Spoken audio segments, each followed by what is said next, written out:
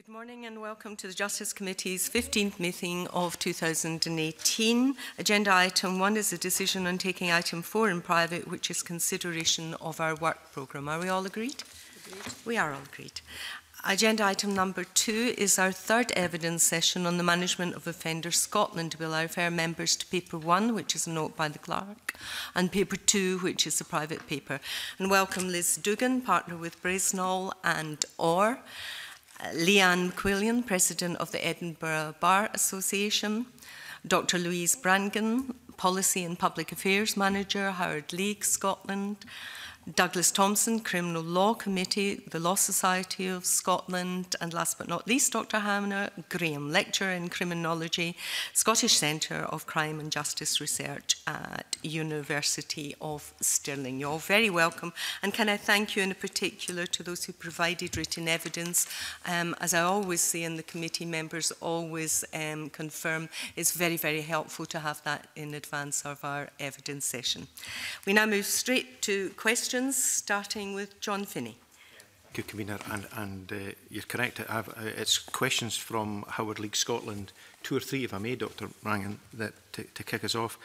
You expressed concern that potentially this could be, and I quote here, a, an expansion rather than reduction um, that will come into place. But I, I think it's in your second paragraph you say fundamental questions and aims of the bill remain to be clarified what are the precise underlying penal rationales motivating the expansion of electronic monitoring in Scotland? Do you have any notions yourself what they might be at all?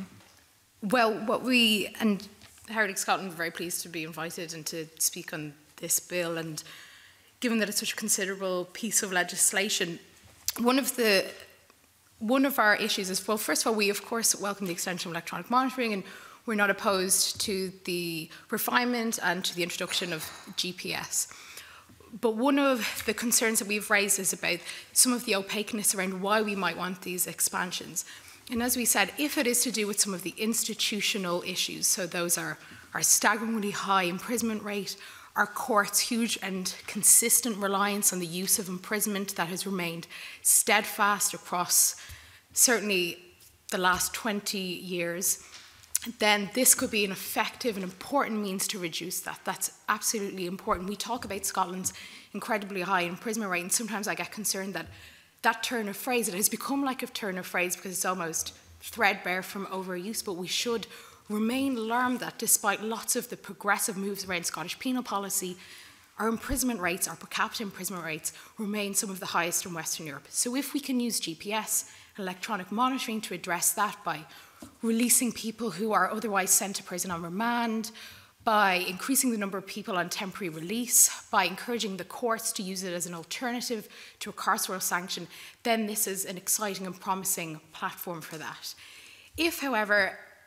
it is to do with increasing public protection, risk of individuals, increasing surveillance in the community, if it is just used as a technological fix, then what we're concerned about is that we'll have an expansion of the, so the net widening and up tariffing will have an expansion of the number of people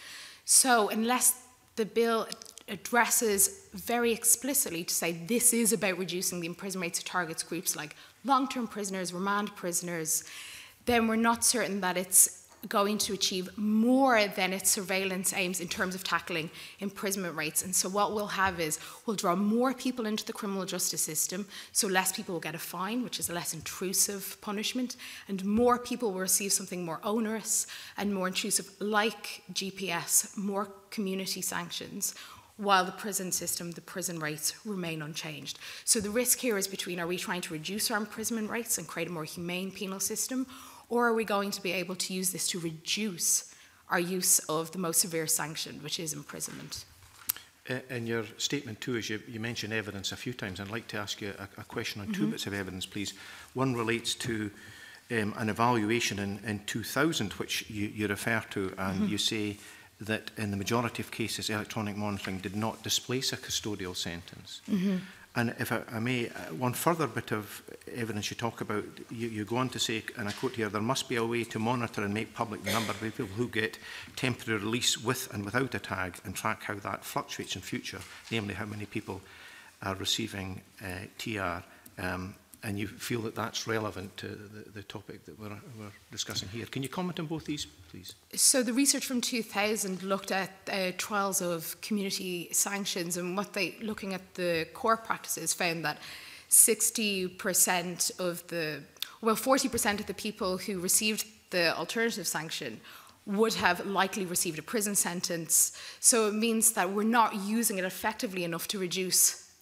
prison. We're not using it effectively enough to use it as alternative to divert people away from imprisonment. So that's, that's a serious issue. But if we know that, if the research reveals that, then that's something we can address with the bill that we can explicitly state that's important. We want to increase those numbers.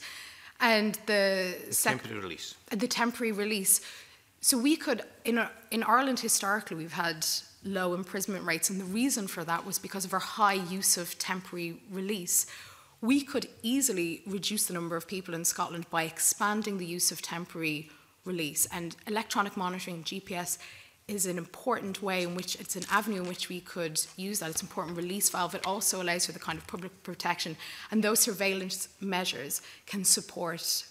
public reassurance around the issue of releasing people out of prison earlier or on and off using home leave so people leave intermittently and return to prison intermittently.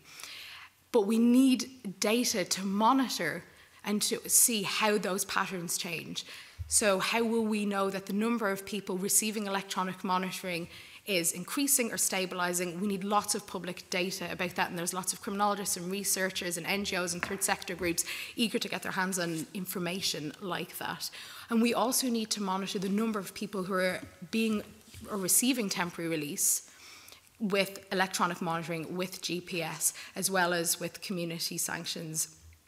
and other support measures. We have to ensure that we're not just using temporary release with electronic monitoring, therefore making temporary release more, in some ways, more punitive because it's more onerous, it's more tightly controlled. We're denying people the independence and autonomy and the trust that temporary release is meant to garner and engage between the system and the person who's been imprisoned. So we need data to be able to track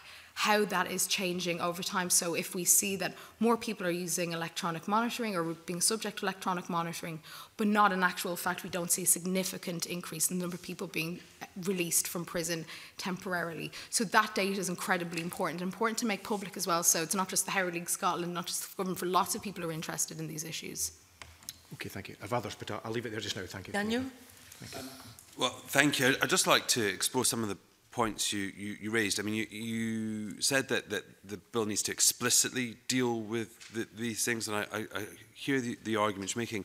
Can you explain to me why the bill explicitly needs to deal with these things rather than it being a matter of policy? And, and is that would that be simply about data, or are there other things that you'd like to see in the face of the bill to try and ensure that, that, that this is about getting more people outside of prison rather than putting additional uh, measures on the people that would otherwise already be out, as it were? It will certainly be an issue for policy. I don't want to draw lines and say yeah. this is mainly to do with the bill but and I, I also get the impression that is part of the motivation behind this legislation I know people are aware that the imprisonment rates in Scotland high and I know there's a real yeah. appetite right now to address that and there's certainly public support for that but in some ways, not wanting perhaps to create too much media headlines, I, I wouldn't want to suggest, but that that aim is slightly less explicit. It could just be more centralized and say, we want to do this, we want to reduce the imprisonment rate, so we could tackle remand. So remand is not dealt with in this, and we could tackle the use of temporary release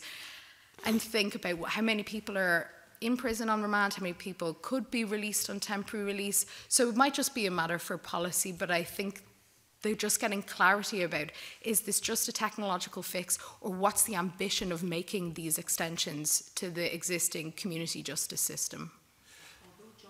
started um, asking um, you, Dr. Lees, running representing the Howard League, we'd, we'd like to hear the whole panel's view on these questions too. So please add anything to um, the question that, that um, if you, you have something to say on what Daniel just asked then. Nobody at this stage? Uh, yes, Liz Dugan. I actually agree uh, with um, the, the suggestion that it might be um, helpful to consider um, remand prisoners um, for tagging instead of, them. for example, um, someone appears in a summary complaint and um, has bail refused, they're remanded for a period of up to 40 days for trial. Um, that, I, I, I, don't have any statistics, but I think it's probably quite a lot of the remand population. And that would be ideal, I would submit, for being monitored on a tag because the likelihood is, even if convicted, they're not going to receive a custodial sentence. So why should they be on remand for that, um, that first period? Okay. Any other points? Uh, doc Dr Hannah?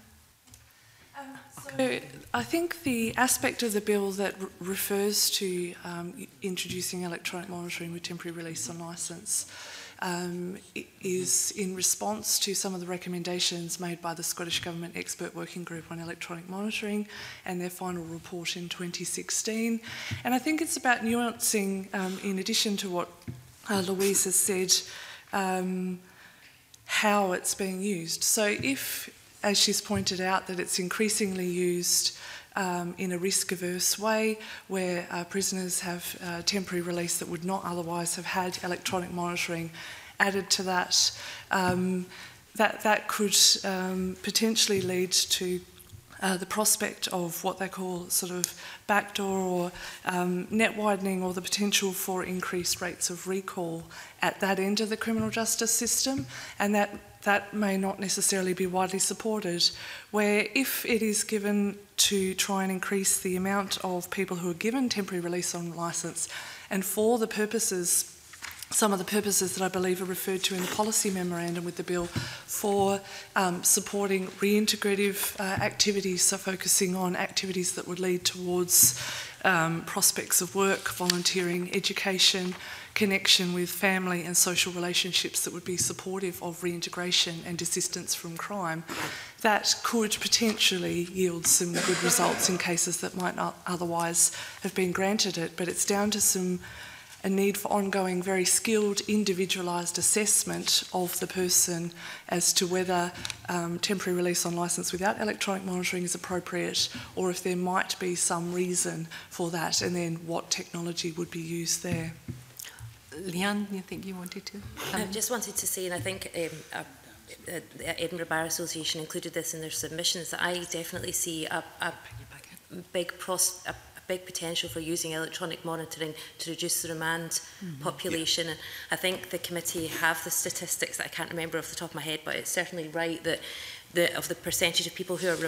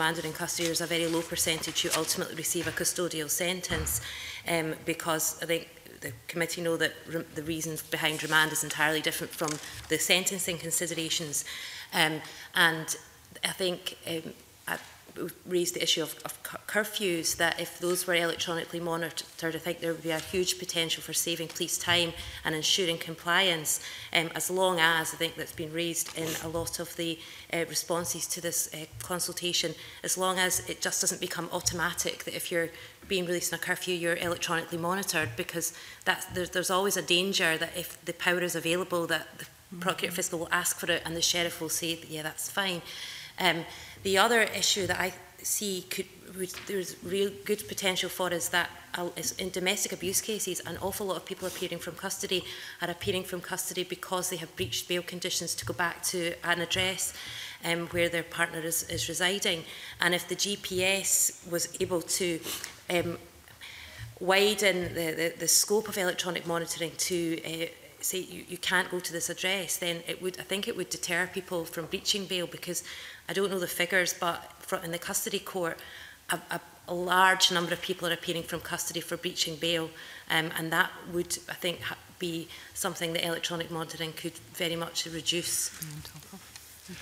I just want to follow up on something that, that Dr. Hannah Graham just said. I mean, last week we had quite an interesting discussion about if this is going to be successful, then people with electronic tags need support around them, but that's only going to be possible if there's sufficient risk assessment uh, and, and that is provided to the right people, particularly criminal social work. But I think in the opposite uh, direction, you know, if you're going to uh, use this effectively for, for prisoners on remand or others, likewise the courts would need the information.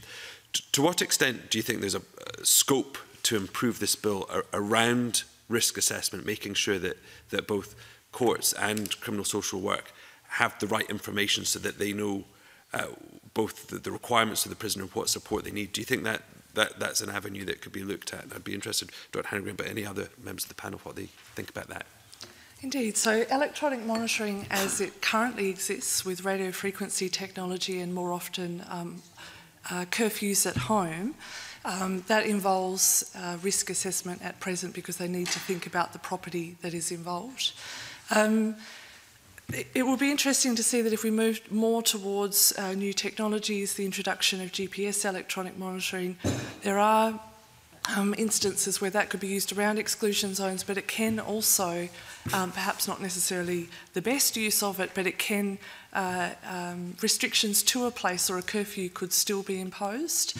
Um, I think there's, there's fairly coherent voices amongst electronic monitoring researchers that where pers a person is being restricted to a place and where that place involves other people, for example, fellow members of the household, partners, children, um, no matter what the technology, that needs to continue to involve um, individualised and also multifaceted uh, risk assessment. And from having conducted research on this already in, in Scotland with the existing technology, criminal justice social workers are quite um, prominent in their conversations about that. And I don't know of widespread existing concerns about the risk assessment that they use, use at the moment.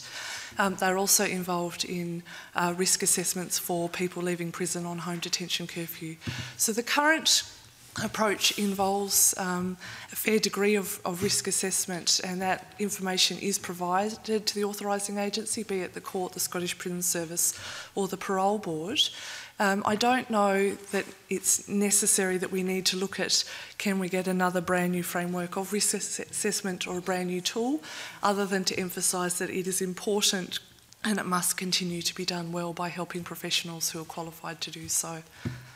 also got a, a, a line of questioning on risk assessment and more um, specifically on the, the GPS. So if we could leave that just now, we will be going into And any supplementaries, could you make sure it's a point that you know isn't going to be raised later on? So are there any more supplementaries on that basis? Mary. I had one that was from a point a bit earlier, and it is just a brief one. It was to the to the Howard League in particular, because it was when you talked about in your uh, written submission to the committee about the electronic monitoring is unlikely to reduce the prison population and you cited a, a study which showed that only 40% of those who received a tag would in fact have received a custodial sentence. But I noticed that that study was from the year 2000. I was wondering if you had any more up-to-date statistics from that or if there is any other research ongoing.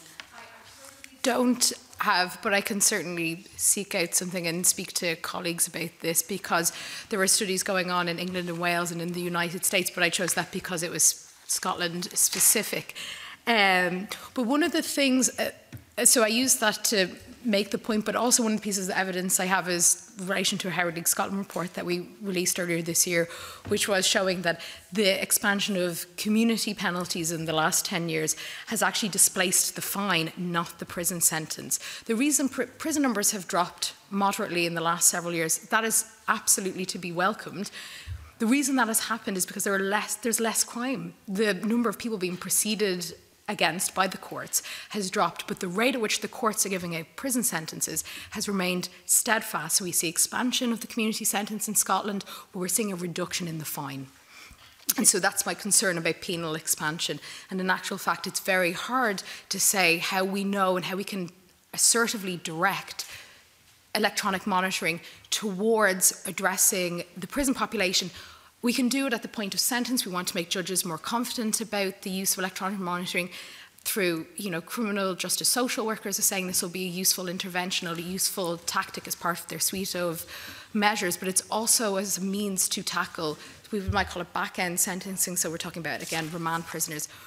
Right now, 15% of the prison population are there who've never been convicted. And as Jan McQuillan was saying, the majority of those will not go on to receive a prison sentence.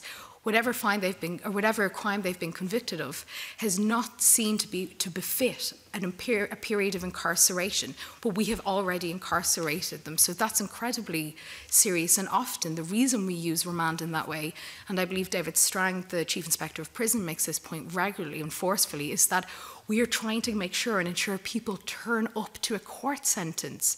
So the people we most regularly incarcerate who are not found guilty are the poor, the vulnerable, the marginalized, and the homeless, which is why electronic monitoring and tagging can help reduce remand, but we also need to think about expanding bail services, bail support, and in that way we're reducing the prison numbers using this new measure, but also thinking more holistically about the social supports required to prevent that diminution of our justice of using the prison sentence against people who have not been found guilty and likely will not go on to receive a sentence either.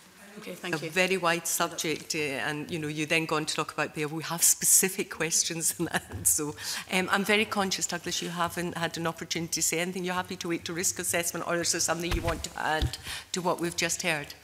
Uh, I'm noting at this point that the, the bill which is before us relates only to disposals post-conviction. Mm -hmm. So there's been a great deal of discussion about the position of remand prisoners, but the bill works on the assumption as presently drafted and presently introduced that the person has been convicted yeah. and that it is called the Management of Offenders Bill and therefore the person is by definition an offender. So we're, we're looking perhaps at something that's not before yeah. before the parliament at this stage. Uh -huh. that's a fair point. Um, obviously, we're going to look and see how the bill can be improved potentially, and stage two would be bringing forward um, yeah. potentially um, amendments, yeah. whether that would interfere with the actual title of the bill and be, um, be uh, uh what's the word, legitimate yeah, within the scope of the bill remains to be seen. But it's an absolute fair point. If you could at this stage just concentrate on um, what's in the bill, but of course we want to hear specifically about what's not and we have questions on that. Now, um, supplementaries, if we're going to be straying too far, then I'll, I'll cut these out. We'll just go straight to questions. If you're quite clear, Liam Kerr, and then John, you small supplementary. Uh, very briefly, thank you, Convener. Uh, Dr Brangan, you mentioned studies in other countries taking place Do any of you have any comment on how proposals in the bill uh, around electronic monitoring compare to approaches in other countries? What are other countries doing that, that we might copy?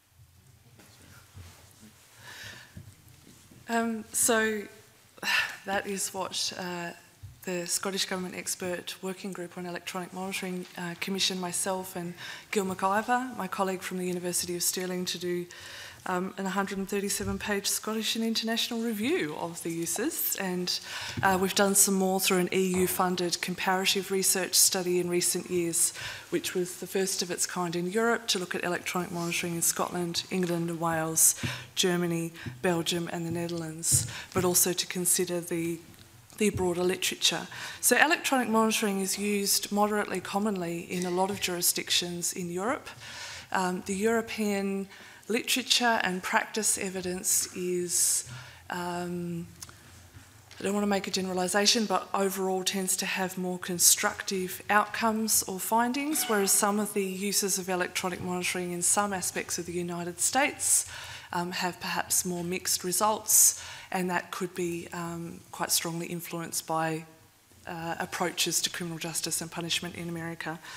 Um, in terms of electronic monitoring's use within community sanctions and measures, there's plenty of other countries that use it uh, within a way. So the Netherlands, Sweden, Norway, Denmark, and, and several others who use electronic monitoring within, for example, like a probation order. And so electronic monitoring is, is led or overseen by their national probation service. And there's some, some things that we can learn uh, in how they do that there to the proposals here of it being added as a potential option within the community payback order. So its use within um, a probation order or a community payback order uh, is is moderately widespread in some other countries, and it hasn't led to um, particularly concerning results. So they've got quite high levels of order completion where there's electronic monitoring involved and moderately high levels of compliance. Um, and I can't foretell the future of what might happen in Scotland, but we could expect that where it is used proportionately within a community based sanction and measure, people tend to comply to their electronically monitored order because it's usually co imposed with supervision and other forms of support that help people leave uh, crime behind and address some of the issues that might contribute to that. So can I ask Dr Graham, I'm aware Douglas Thompson wants to come in, but can I ask Dr Graham just on that, is it your view then that having studied all these other countries, that this bill sufficiently distills the essence of what's working in those other countries uh, such that the outcomes, the positive outcomes that you've identified will, uh, if not naturally follow, then at least be implied? Uh, or is the bill lacking in some regard? Um, the Part 1 provisions are broadly coherent with the Scottish uh, Government Expert Working Group on Electronic Monitoring, who cited the international evidence quite frequently.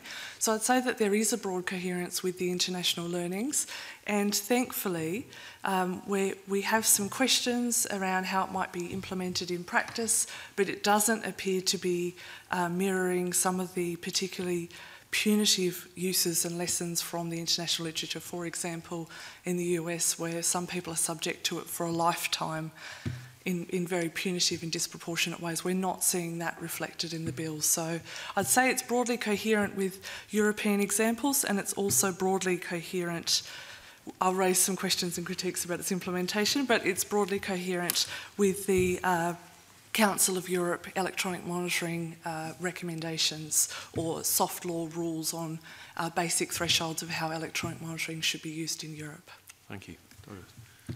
Well, I'll, I'll bow to Dr Graham's greater knowledge of, of the subject. My, my understanding from the court system is that while electronic monitoring is not rarely used, and certainly the courts will quite often, when considering a custodial sentence in summary proceedings, ask for a restriction of liberty order assessment, a, eh, my understanding is it's not used as much in Scotland as it, it could be, and it's not as used as much in Scotland as in a number of other European countries which have gripped the technology with a great deal more enthusiasm. Mm -hmm.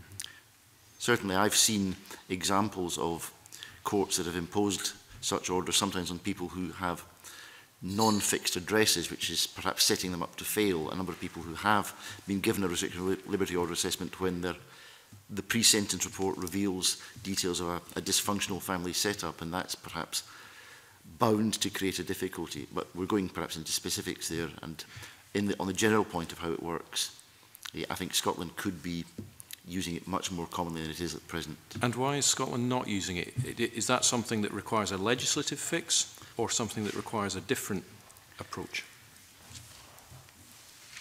I suspect that some sheriffs are still a little uncertain about the technological advantages of it, and some are uncertain of the extent to which it's seen as a realistic punishment. Now, I think the reality is that requiring somebody to be monitored or, and be in a certain place is, has a particularly clear benefit, but it's something that's relatively new and perhaps something that's not as well understood by sentencers as it might be. Thank you. John, supplementary. It, eh, eh, it is, a, a, a, Convener, it is a question about the system that they use, GPS. Now, the term increased surveillance already being used, and there's no doubt that this um, equipment would be capable of har harvesting significant data. I wonder if the committee have concerns, uh, the witnesses have concerns about their retention or access or indeed potential use of that data, not least as, it's, as things stand at the moment in the hands of a private company. I think we we briefly addressed this in our in our submission, just in that it didn't seem entirely clear But because that's actually Jenny Gross. It wasn't a supplementary. We will return to that later um, because I know you have a lot to say on that. It's actually been allocated already. All right, well, John. I do beg your pardon. I didn't realise No, I, I, I realise that sometimes right, okay. it's, it's, not clear. Um, Rona. Thank you, Convener. Good morning, panel. Um, I'd like to return to um, a line of questioning that we, we had a bit earlier about assessment and risks. Um, we've heard in previous evidence that um, you know, while generally people are generally supportive of electronic monitoring, that the need for greater support and assessment is, is very much going to be there. In particular, I'm thinking of Dr. Marcia Scott's evidence last week, um, where she talked about um, it posing a bit of a dilemma for them because while it could obviously have benefits in, in, in monitoring perpetrators, um, the fact that a breach of a CPO doesn't automatically constitute if, if they go on to commit an offence, it doesn't constitute a breach of the CPO. Things like that. I wonder if you could talk a wee bit about just the risk and support that's going to be out there when this happens. Well, currently, when an offender is made the subject of a restriction of liberty order, there's no They, they fit the equipment and that's it. There's uh -huh. no support at all. Um, and one of the...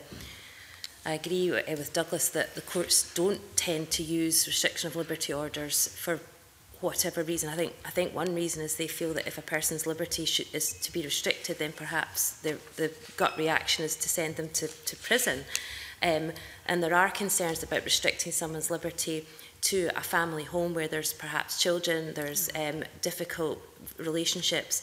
Um, and we see often, even if people are just on a curfew condition without any electronic monitoring, that there's a big fallout and they're thrown out of the house. And, mm. and it, it's difficult to expect a parent or a spouse or a child to have someone restricted to that address. And at the moment, there is absolutely, when, they, when they're made the subject of an order, there's, there's no other support. Mm -hmm. And they can only be restricted for up to 12 hours a day. Um, understandably, because if you're restricting someone for up to 24 hours a day, that's very, very punitive. Mm -hmm. But if they want to offend, then they can go and offend in the 12 hours a day where they're, they're not mm-hmm. restricted. Mm -hmm. So there's not so much of a, a rehabilitation there. It, it, the restriction of liberty order is very much a punitive sentence. Mm-hmm. Um, I think, designed to try and reduce the, the prison population, but I'm not convinced it's had that effect at all. Mm -hmm. Well, you, you mentioned um, children, children and families, and that was, you know, part of my, uh, the rest of my question was, you know, there would surely need to be support given and counselling given to children who, if if they're going to be um, if these uh, methods are going to be used more, surely um, there needs to be more support. Do, would you agree with that as a panel, that there needs to be more support services in place? Having standalone um, restriction of liberty orders, it might be better to have them ancillary to a community payback order with a supervision requirement. Um, in that case, there would be an allocated social worker for um, the person subject to the order. and um, uh, as part of their remit, they could um, ask questions of uh, those uh, living within the home, um, various family members about how it's how it's actually working. Um, there is um, uh, there is the opportunity at present um, for uh, um, the the monitoring services uh, of a community payback order, the, um, the local authority, to submit a review um, of a community payback order to um, the court if they believe that uh, either, for example, the order has run its course or um, it's no longer required or um, perhaps it's not working in some way that the, the person subject to the order is not um, perhaps um, getting as much out of the order as uh, it had initially been envisaged. So that if the restriction of liberty element was um, factored into a community payback order with a supervising officer, they can um, fulfil that role. Um, it's already in uh, the framework that's in place. Yes. I would endorse that entirely. I, I note that in our submissions, the Law Society state that electronic monitoring can never be a goal in itself, but always a way to reach other goals, such as changing behaviour and protecting victims. Mm -hmm. So the monitoring is important, but it has to be part of a look at the behaviour of the offender what caused the offending and what can be done to manage risk in the future. Mm -hmm. So the monitoring allows the state to be clear what the offender is doing and also, more importantly, what the offender is not doing. But as a standalone measure, it simply puts somebody in a place for a number of weeks or months. Mm -hmm. If we're not looking at the whole picture of that offender and that offender's past behaviour and future behaviour, it's not going to be of any benefit to society. And Can you just clarify for me, please, um, in the case of domestic abuse, did I interpret Dr Scott's um, evidence correctly that if a perpetrator goes on to offend again while um, on, on a monitor, it's not constituted as a breach? It, it doesn't, you know, it's not a breach of their, the, the order if they offend again. So she's, you know, obviously there's a high, the high proportion of uh, domestic abuse uh, perpetrators do, do reoffend constantly. So that's the, the dilemma for them. Is that, is that correct? I think it's not, it's not automatic, but I would say my experience is that where somebody is a eh, subject to an order and is accused of a fresh offence when subject to that order, it would be rare in my experience for the Crown not to take proceedings and for the court not to take some fairly condign steps in that regard. But technically, it is not strictly speaking, an automatic requirement. Mm -hmm. But one would assume that a police force and the Procurator Fiscal Service becoming aware mm -hmm. of mm-hmm. somebody who's breached a restriction of liberty order assessment would submit it as breach proceedings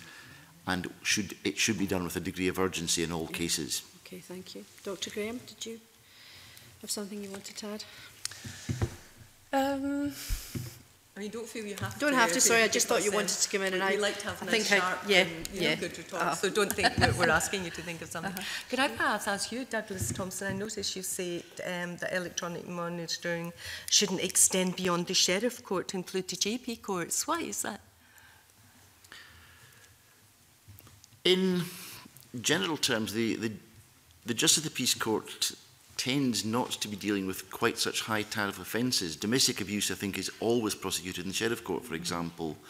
A, eh, it's relatively rare for the matters prosecuted in the Justice of the Peace Court to be the sort of matters these days that would attract a custodial sentence, and electronic monitoring is generally uh, an alternative to that.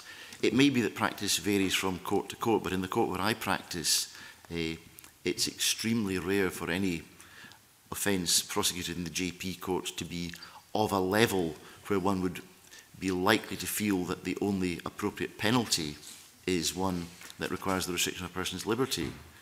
I suppose I was thinking um, you say impose in, in connection with a CP or a community payback order, which both Sheriff and, um, and JP courts can do. So Why would there be a difference? Would it be the level of um, offence that the CPO attracted? Or? Certainly, a, a CPO as a direct alternative to custody as opposed to a level one CPO, which is an alternative to a fine where somebody can't pay a fine. A community payback order where you're regarding as a direct alternative to a custodial sentence is imposed where the court considers that the matter is worthy of a sentence of imprisonment. Now, given the restriction on short sentences at the present time, that generally means the court is thinking of a sentence measured in terms of months. But as an alternative to that, the court will commonly impose a package of measures eh, as part of a community payback order, which may include both restriction of liberty order and supervision or unpaid or restriction of liberty and unpaid work. Now, that is not, in my uh, experience something that regularly uh, come, the sort of offences that attract that level of penalty or potential level of penalty are not matters that generally come into the Justice of the Peace Court. So is it not as a standalone measure in the GP in the GP court you're, you're, you're saying, or? I'm not. I don't think the society's view is that we, we would say that it should never be considered, but uh, we're simply questioning whether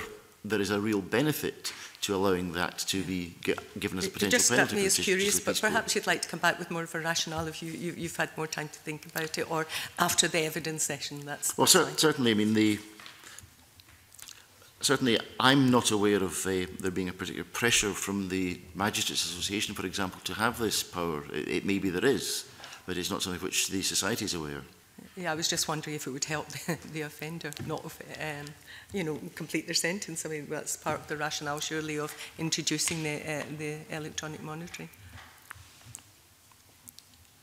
It, it, may, it may do in some situations. I'm just thinking from my own uh, practice in the Justice of the Peace Court, how often uh, the courts that I've seen would have felt that was a a weapon in their armory that they would found useful. Liam McCarthy. Yeah, I just I think if we could maybe park your earlier comment, Mr Thompson, about whether or not um, in the context of a, a bill uh, around management of offenders it would be competent. I, I was wanting to explore whether or not the, the, the panel uh, felt that it would be beneficial to have electronic monitoring um, as a bail condition.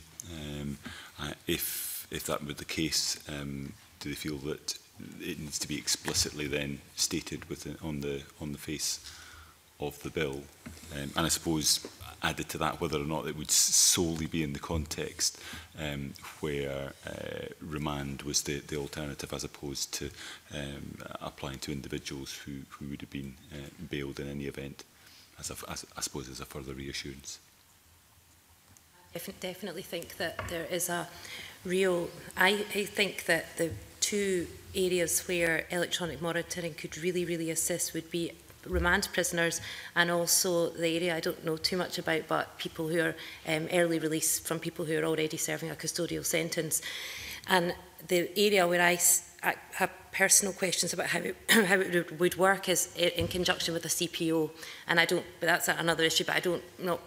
quite sure how it, in practice um, an extension of electronic monitoring would help someone complete a CPO. But as far as remand is concerned, then it, eh, as 15% of the prison population are remand prisoners, that would be a relatively easy way in my opinion, to reduce the, the number of people who are in custody who don't really necessarily need to be there. But as you say, um, I would that we'd have to be very careful that the Crown didn't automatically ask for someone to be mon electronically monitored in a situation where they wouldn't normally. And perhaps if someone, um, if, if, if a sheriff is very much considering that a remand is at the forefront of his mind, there being a, a fallback to a, a curfew with electronic monitoring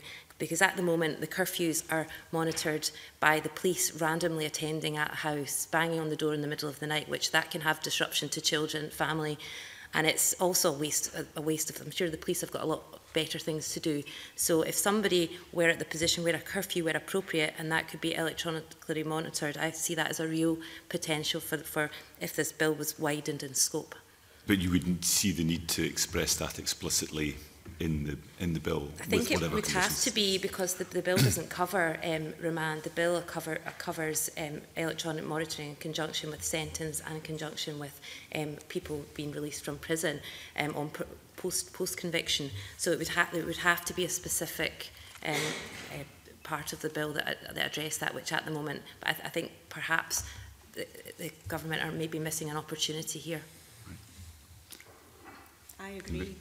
Totally. It has to be written into the bill. It's, it's missing, and unless you write it in, you can't implement it because it, it, it will just be continued to be policed by the police service rather mm. than um, handed over to, for example, G4S. And would you see the need to, to express it on the face of the bill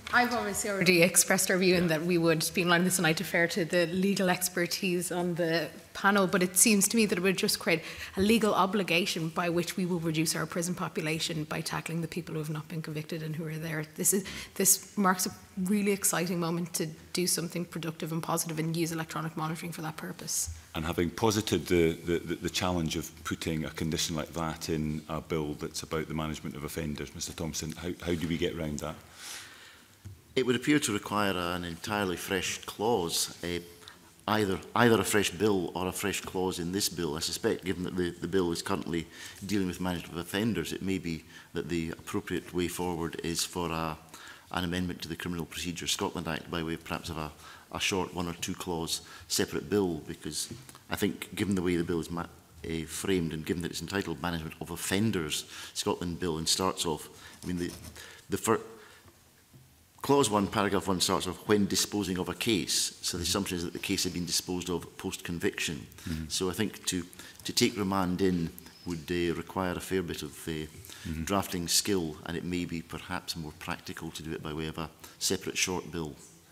Dr Graham, you were involved in a lot of the preamble work to this. Uh, is, is the management of offenders title of the bill uh, perhaps an, an accident or a deliberate um, uh, attempt to avoid including um, those under, under bail conditions?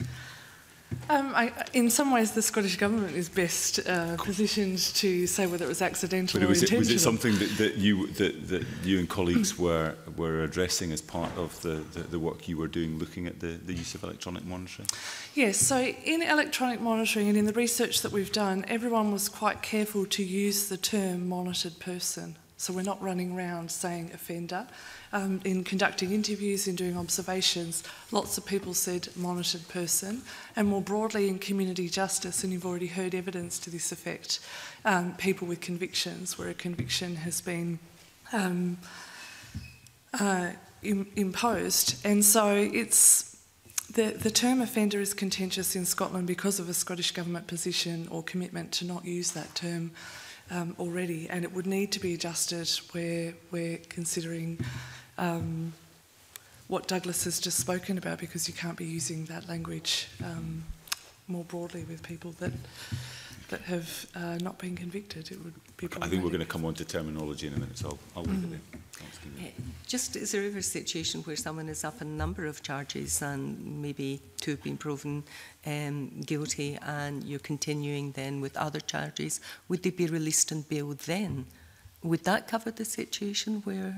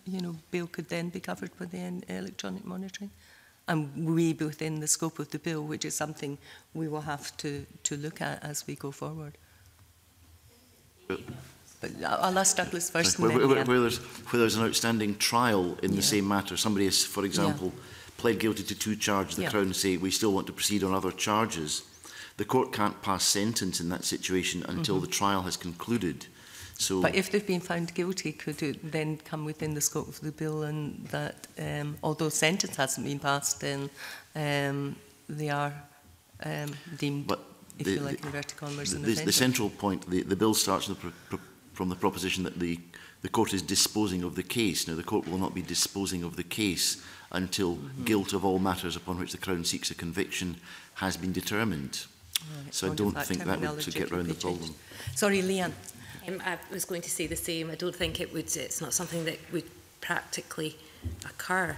Um, and if someone pleads guilty to two charges and the Crown don't accept that and want to proceed to trial on um, other charges, then there's still an untried uh, person, whether that be a prisoner or they're still untried. So this court wouldn't be looking at sentencing. So I don't think in the scope of the bill no, it, it wouldn't sense. work. Okay, thank you.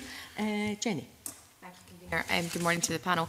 Liam McQuillan, I want to go back to something you said at the start uh, with regard to GPS provision. Um, you said it would be quite beneficial in terms of encouraging people not to visit certain areas um, whilst they were on an electronic tag. And last week's evidence session, we heard from Social Work Scotland and Community Justice Scotland, who were also pretty positive about the use of GPS.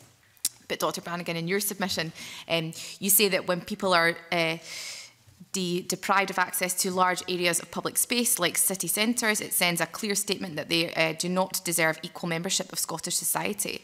And in last week's submission, we also heard from uh, Scottish Women's Aid, who were generally quite positive about the use of GPS, but they also pointed to an American study which had been conducted with regard to victims of domestic abuse who had felt quite anxious with the use of GPS because they could see um, the, the person who um, had perhaps attacked them and they could see their whereabouts and that had caused them stress. So I just want to ask the panel, do you think the use of GPS lends itself more so to certain crimes than others?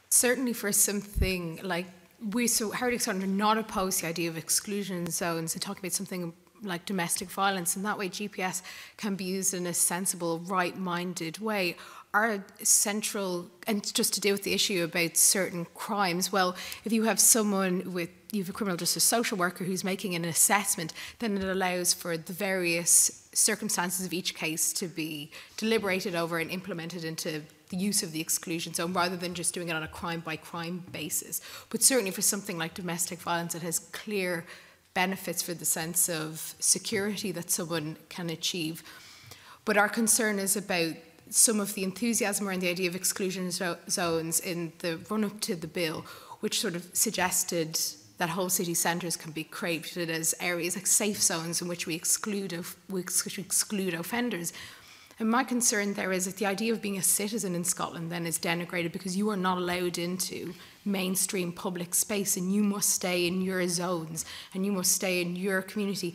Certain areas, streets, avoiding certain houses, someone's workplace, again, sensible and right minded. But the idea of citizenship, belonging, and reintegration require that I think we need to be very careful about setting a very specific spatial uh, meters, kilometers, distance about the max size or number of areas that can become an exclusion zone. We have to protect the citizenship and the reintegration aims of penal policy. Mm. So, in terms of the type of GPS monitoring that you mentioned, that's um, technically called bilateral monitoring. So, not only is um, the monitored person, often an offender, but in other countries it's also used with electronically monitored restraining orders. So again, we get into different parts of the criminal justice process in different language there. It has been used in the US, it's um, quite commonly used in Spain and in Portugal. And there is the opportunity for, um, if a victim gives their informed consent, to carry a device or to potentially, for example, have an app that notifies them. I know that in London, the Metropolitan Police are considering the use of this with um, seeking to produce, uh, prevent stalking. So victims can have a device. In some cases, they could even consent to wearing one. Um, I don't know how common that is, or they can carry one or have a way that there's a notification that they get information. Um, the, the responses of uh, victims of crime who've taken part in this have been mixed because they're a diverse group. Um, there, there is modest evidence to suggest that it has been moderately positive because they have been adequately briefed that electronic monitoring cannot stop someone in their tracks. It can't actually stop mm -hmm. a crime. It can give advanced notification to victims and or authorities and, and monitoring companies. So where that exists, there's been um, some cautiously optimistic victim feedback that it is helpful to know that, particularly where um, there's a moderate risk of, of harm.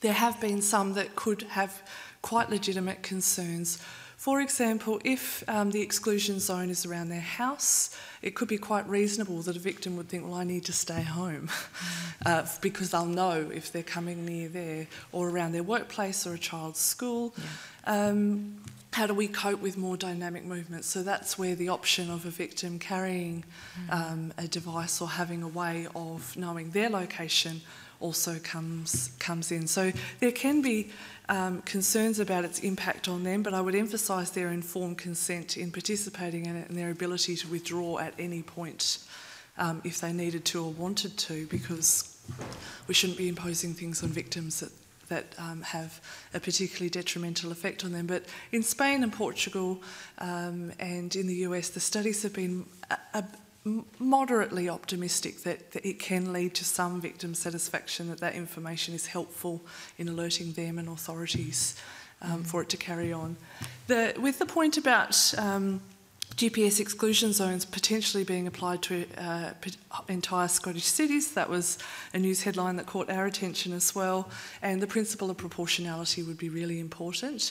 But also, if there was a reason for a sentencer to impose an exclusion zone around an entire city in Scotland, um, that would raise the question as to why such a, a large ranging um, exclusion zone has been imposed that's not being tailored, and what could be done, what supports could be put in place, as well as um, surveillance or perhaps controls to make sure that we're not displacing the issues that they're actually seeking to address. So if someone is not allowed in that entire city and they go elsewhere, if, if there's such a concern about that, we need to think also about displacement and are they taking behaviours and propensities with them that could happen elsewhere. So I, I would caution against uh, restricting people away from entire cities. Rather,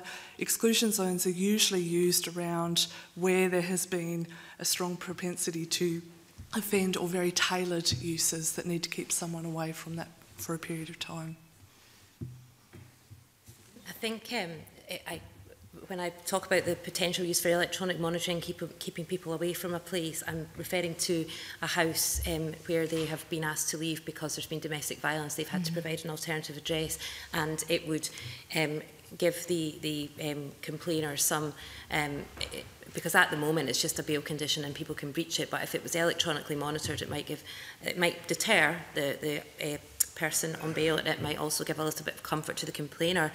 As far as exclusion zones are concerned, I, the court in Edinburgh quite often, well, not rarely um, grant people bail with special conditions that they do not enter the city centre exclusion zone. There's mm -hmm. an mm-hmm. actual exclusion zone and they get a map and it's drawn in red and they're not allowed to go into that, that area. And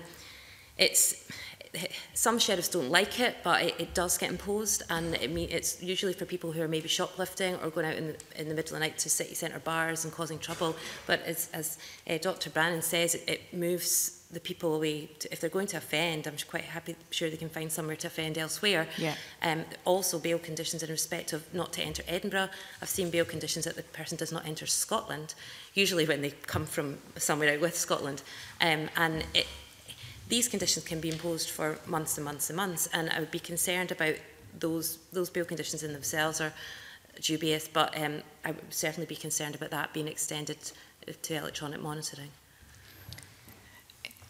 Mm, Jenny? Yeah. Thank you, Commissioner. Um, Thank you for that.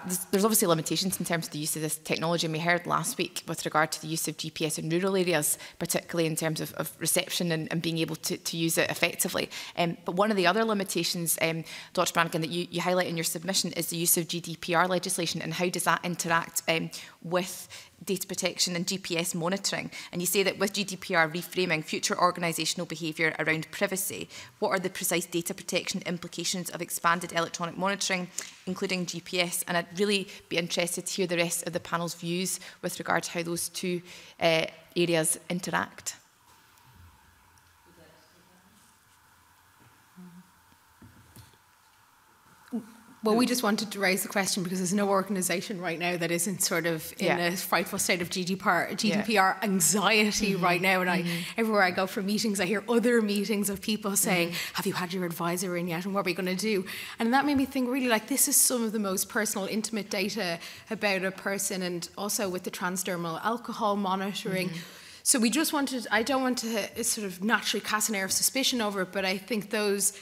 thinking in those new parameters of data protection, who has the data? How long will they have it? Um, and who else will have access to it? Will there be data sharing across the criminal justice system? Is that right and appropriate?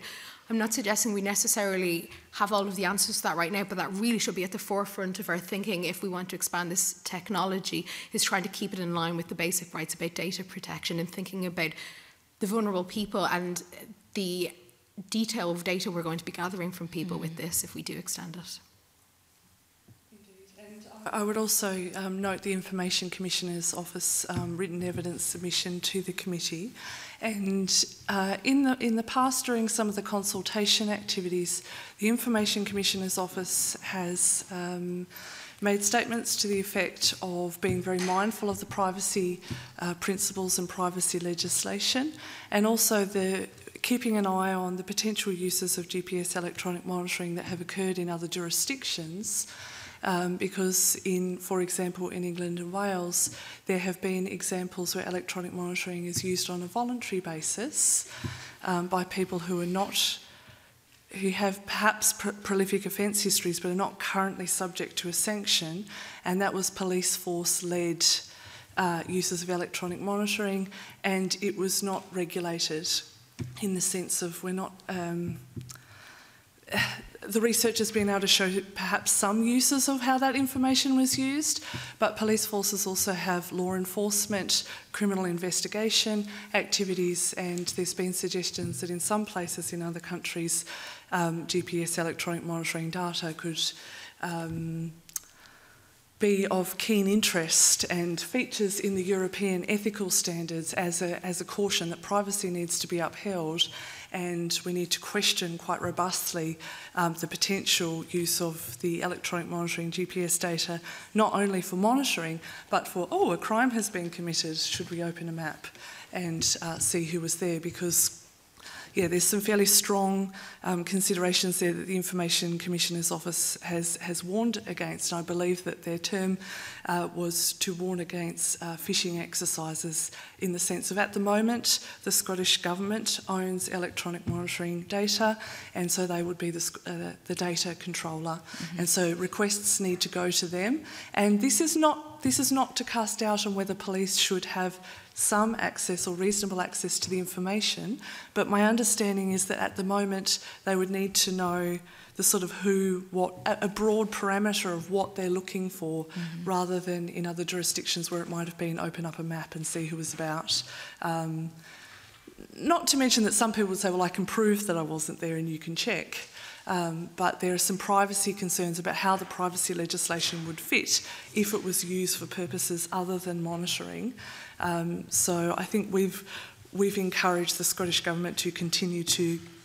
be the owner of the data or the data controller so that um, access to it is subject to vetting or to checks mm -hmm. and to a decision-making process. I suspect slightly different considerations might apply where someone is accused of and disputes breaching a restriction of liberty order assessment or similar, and that matter goes before the court because the, the question of who retains the data and for what period of time will be different because there may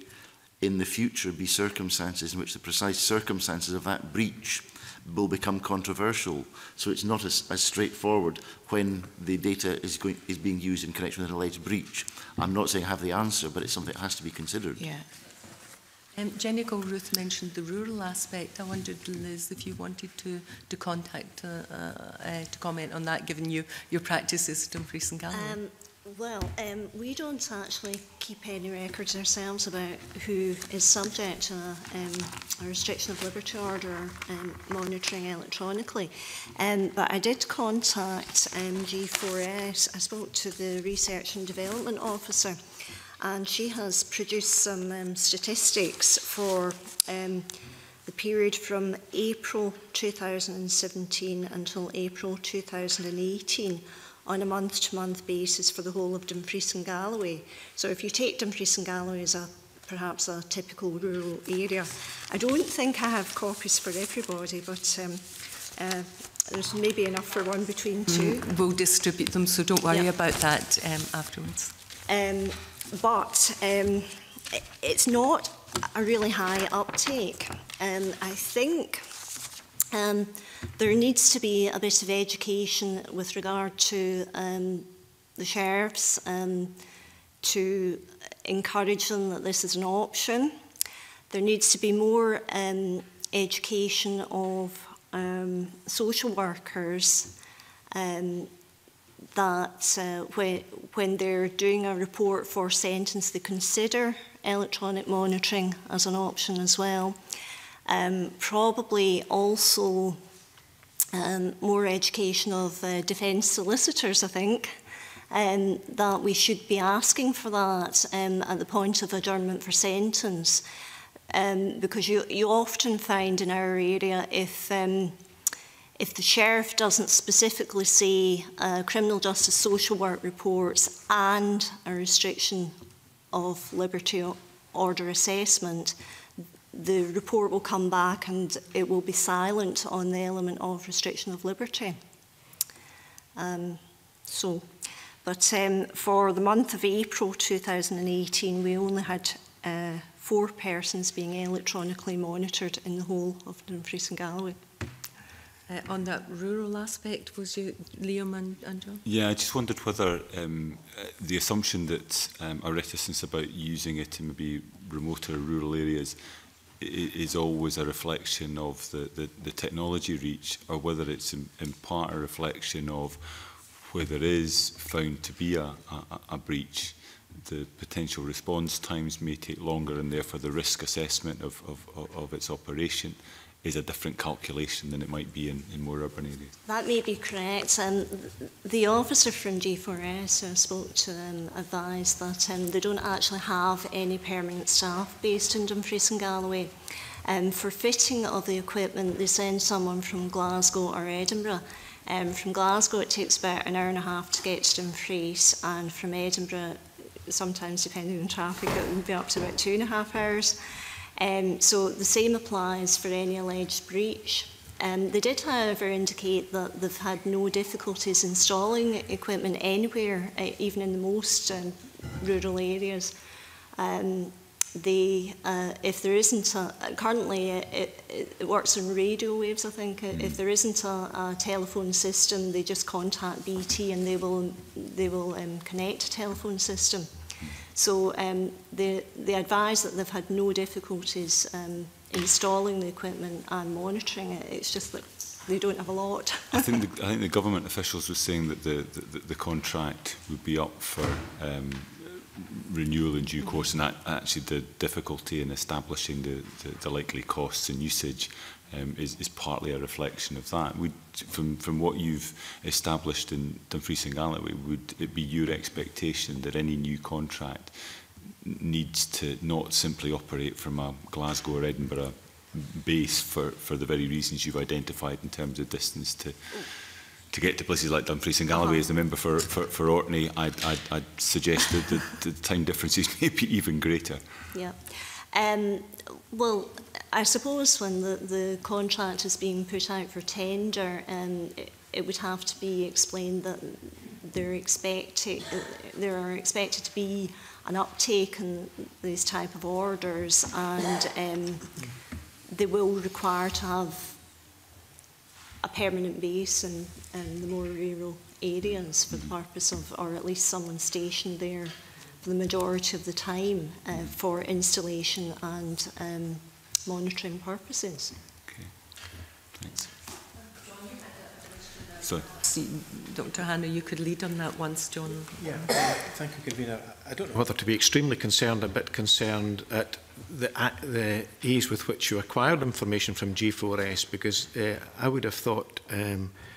you know, that information shouldn't readily be available over the phone, and this isn't to cast any doubt in yourself it's um, they publish um, statistics. They don't uh, have names, obviously, but they publish the uh, statistics on um, uh, an annual basis, and uh, these ones will go into the new report um, for the next year.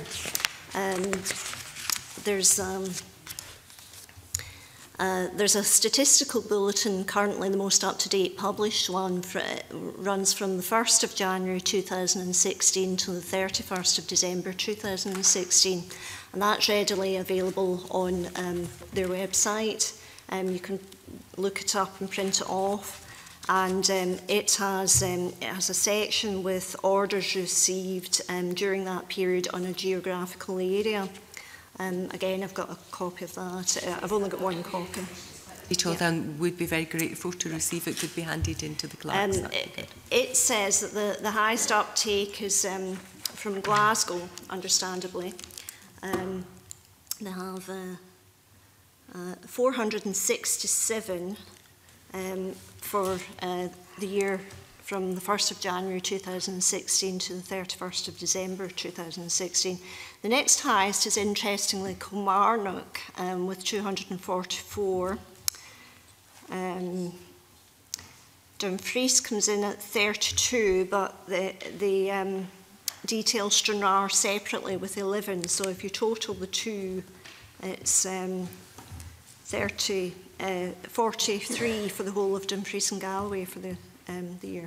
Okay, thank you. Well, well, I don't doubt we'll, we'll pick up on these statistics, and that's reassuring that's, that, that they are available like that. I just wonder if the panel had concerns about a private company retaining data.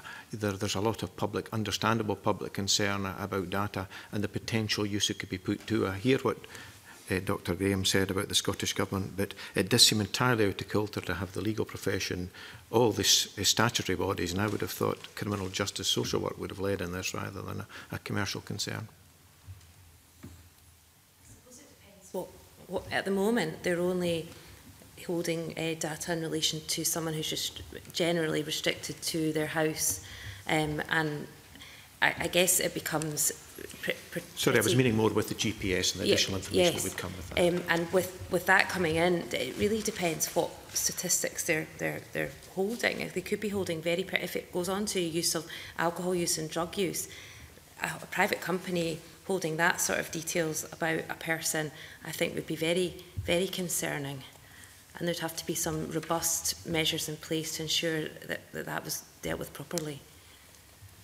Okay, thank you.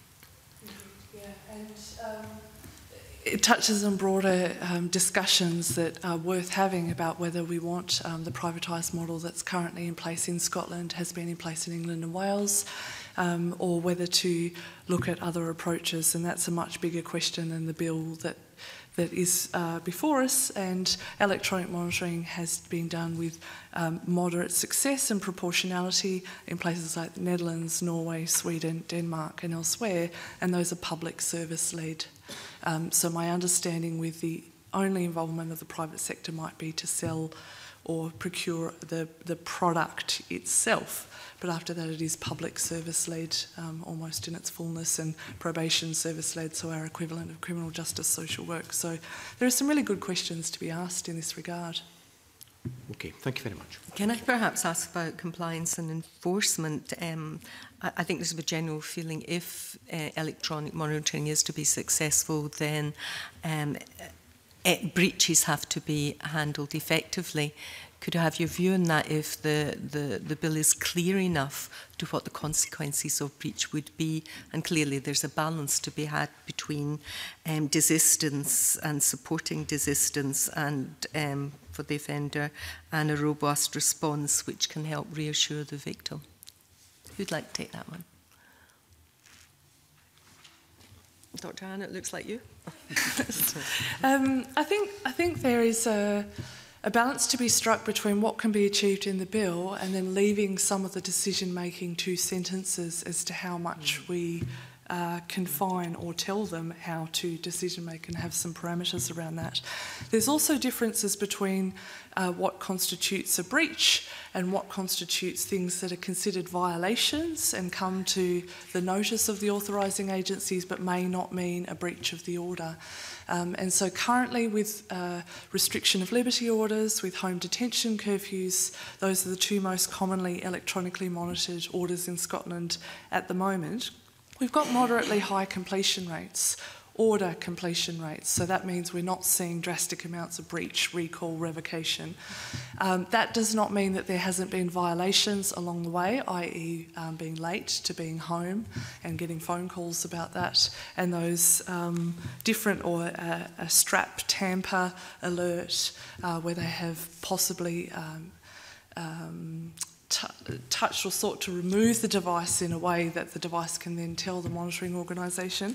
So it's about calibrating your expectations around what would happen in the event of breach. At the moment, electronic monitoring can be imposed as a restricted movement requirement if someone um, is in uh, is it in, in breach of a CPO or looking to be they're certainly non-compliant of a CPO and looking to move it towards um, an option within the community payback order, I'd suggest that that's where complementing it with supervision or a supervising officer and the ability to inform breach decision making is very, very useful because um, arbitrary decisions about technology, um, considering the human circumstances around it, I wouldn't want to see. Um, order completion rates significantly falling and uh, breach and revocation rates rising because that could lead to um, certainly more people before the courts, if not more people being potentially returned to prison, depending on the modality in which it's used. So the conversation needs needs to be had, but there is variation with decision makers across the country. Some will act in a certain way, and others will leave the notifications for a while and just be knowledgeable of them, but not say that this is a breach of the order. So th there's a balance to be struck in, the, in what the bill can achieve, and then how decision makers, for example, sentences, actually implement it, because they are not not always favourable to too much incursion on their decision making and their professional discretion. So I'd, I'd defer to those who, who spend more time in the courts. But Um, breach decision making is still just that, a decision on an individualised basis. I suppose I'm turning it around the other way. Do you think it's an important that it is dealt with effectively? Would electronic monitoring um, not work so well if, if, if it was seen that the breaches weren't fit and dealt with it effectively. Um, Douglas, you wanted to... to yes, I'm, I'm looking at uh, clause 14 in particular, noting that uh, it's presumed in the bill that evidence will be given by way of a document containing certain information yeah. and that the document is in effect self-proving. Although it can be challenged obviously by the offender, but the document itself would be the evidence of the breach.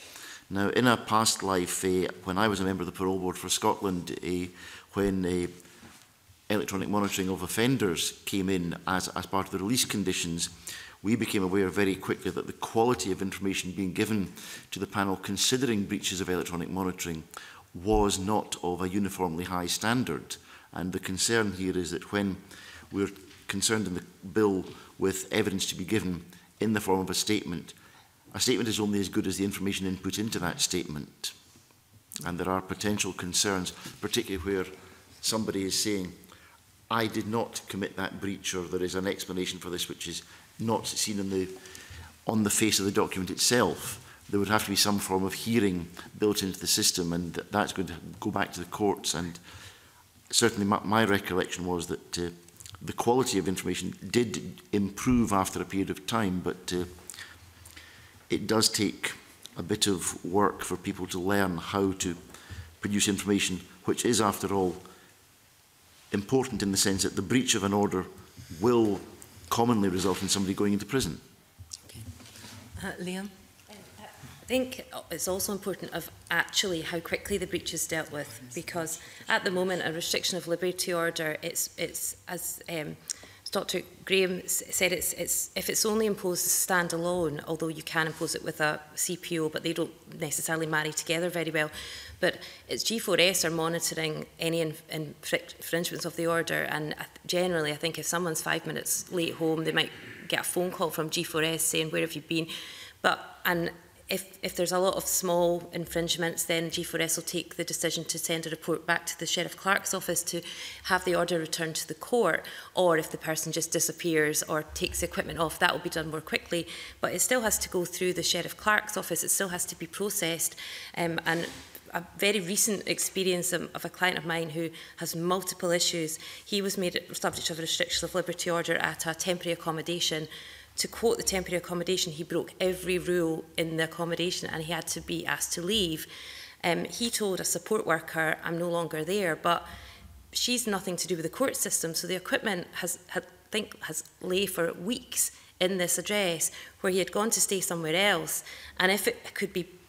more effectively dealt with, that equipment could have simply been moved. Um, and that was about three months ago, and it's only now come to court. So that that sort of thing isn't really going to um, be very effective. And I think some sort of judgment on a breach as well that's not just G4S making that decision, but perhaps someone who is more aware of the, the uh, person's particular circumstances uh, would be helpful. Well, Morris.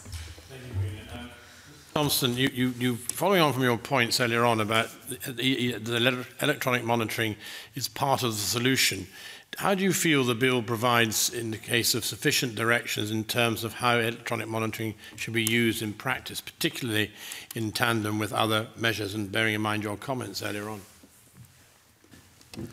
It's really very much a, an issue for sentencers, and I think I, uh, in our submissions we draw attention to the fact that a lot of that will be a matter of more for the Judicial Institute for Scotland than for the bill itself. The bill by its very nature, is creating something that will operate across the whole country and will operate in sentencing in all fora that it, in which it is competent to do that. The question of how that operates in practice is a matter for individual sentencers dealing with individual cases. Mm -hmm. And uh, that's why we have created uh, the Judicial Institute, and that's why there is a degree of training for sentencers in this field, because we're looking to increase the use of electronic monitoring. Now, mm -hmm. courts have to be aware that there is a genuine and useful purpose for this and that the idea behind it is that it will protect the public more and it will reduce the risk of reoffending. It's not really for the, the Law Society to direct sentencers on when and how they should use that, mm -hmm. but uh, we're aware that uh, the Judicial Institute will be uh, engaging in the future. Once the bill becomes an act, right. uh, the Judicial Institute will engage and they will issue guidance to sentencers. But as it stands at the moment, I mean, do you feel that the, such matters we discussed just now should be set out more clearly in the bill uh, and in, or in, also in the statutory guidance along with it?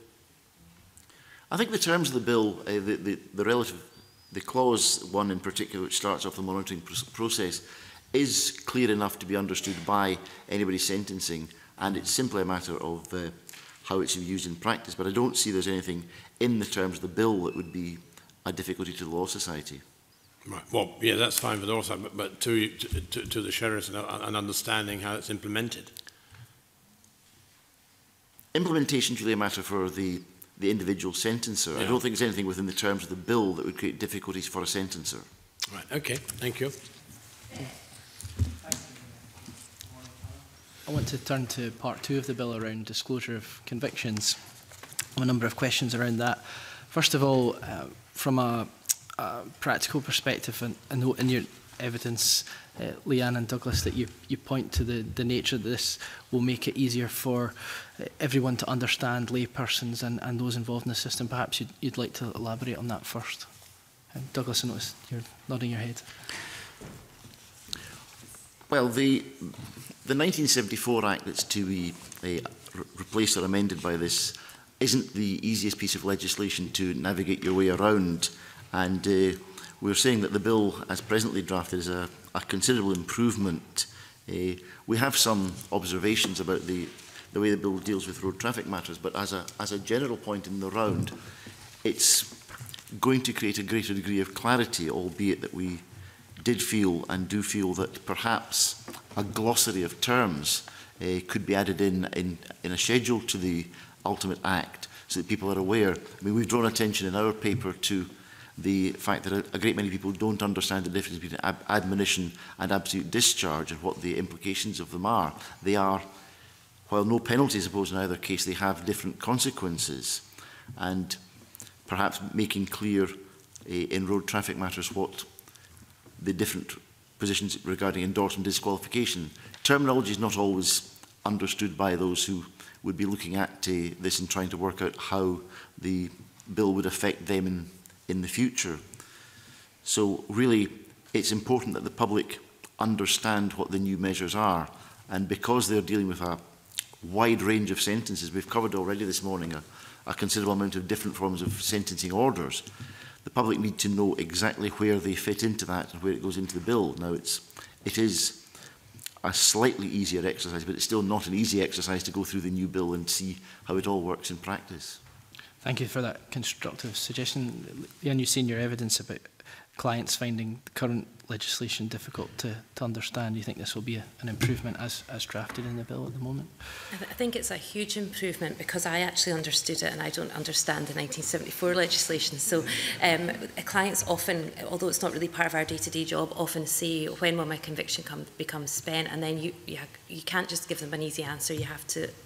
look it up. And I do think it would, it's, clarity is very, very much welcomed. Um, the only thing, my only concern looking at it again yesterday is in relation to admonition and absolute discharge, uh, not as far as the terminology is concerned, but um, is as far as the proposal that there be uh, no uh, disclosure period for an absolute discharge and an admonition um, is concerned because um,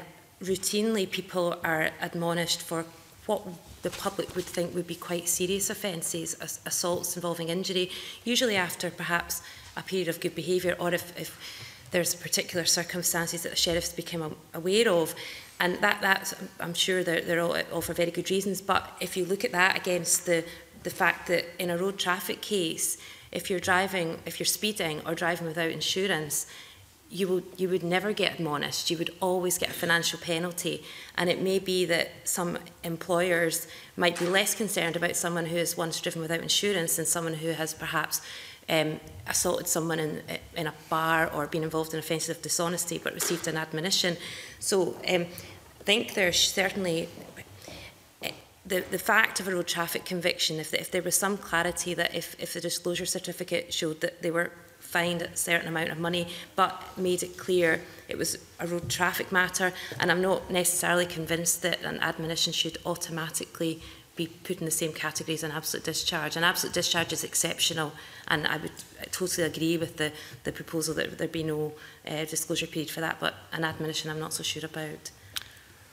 Thank you for that, and I'll come back to terminology in the 1974 Act shortly. First, before that, I want to talk about uh, attitudes to to previous convictions. And uh, one of the, the, the bill seeks to reduce the length of time most convictions will take before being treated as spent and uh, it would extend the length of custodial sentences covered by the provisions. And the question we're asking ourselves as we evaluate this legislation, of course, is do the proposals achieve an appropriate balance in these respects? And uh, Dr Louise Branigan, I know you, in your submission you've made some uh, comments around the that the amendments will still allow for disclosure of spent convictions and that this bill will allows the continued demand for lifelong disclosure and you had some some concerns about that perhaps you'd like to so we also welcome the reduction in disclosure periods because why wouldn't that why wouldn't we welcome that but our concerns are that there are still so it increases from i think 36 months to 48 months the period of which you will have lifelong disclosure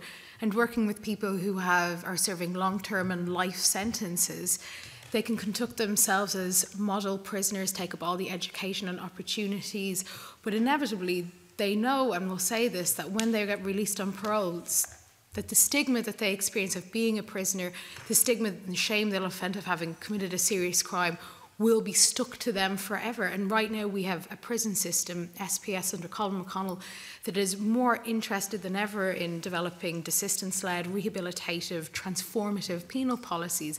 And we have people in prison for longer than ever before in Scotland, and we still don't seem to trust those measures. We still require people to be held at arm's length to be denied the reintegrative processes that SPS policies promise them that they can have civic repair, re engagement, becoming part of society. So the 48 month or over lifelong disclosure just seems unnecessarily punitive, particularly when we know the evidence, particularly come from the SECJR recently.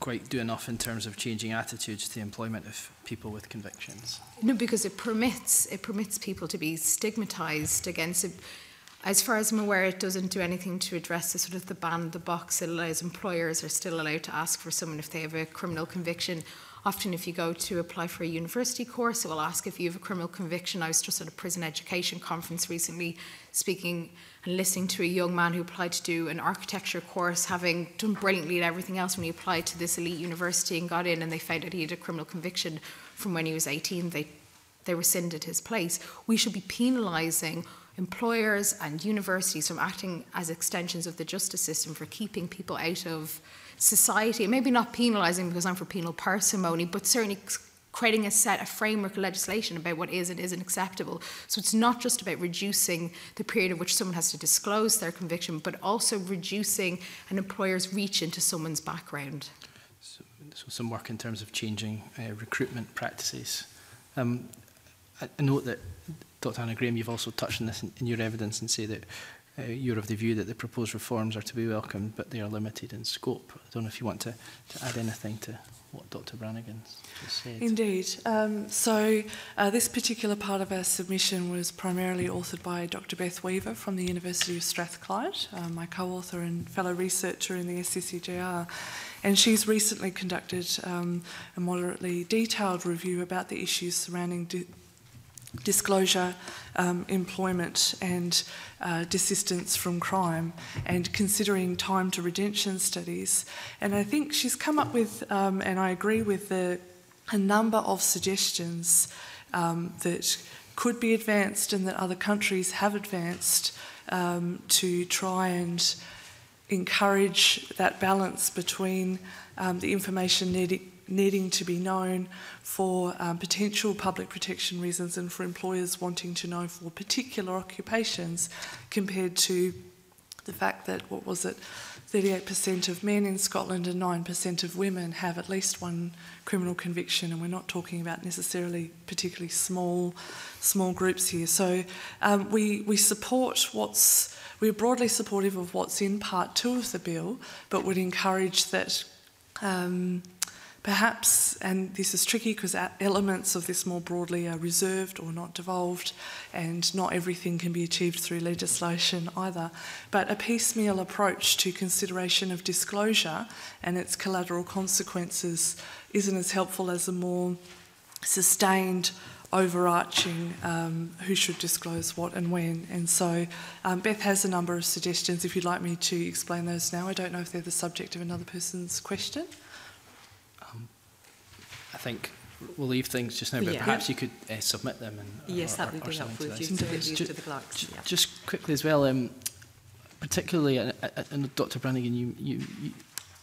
you mentioned an 18-year-old, but do, do you think as drafted, the current balance in the bill will help uh, assist children to move on from previous offending behaviour, but uh, from both around? It, it certainly it certainly does in that respect. But I also think we should protect adults. If you're 20 years away from even having committed a homicide? At what point, and you've 20 years and you've served 10 years in prison, perhaps actually the chances are much longer. The question in the bill says, do we allow people to move on? And I would wonder, when are we willing to let go? When are we willing to forgive? When are we willing even just to tolerate? So yes, it helps young people, but we should not write adults off either.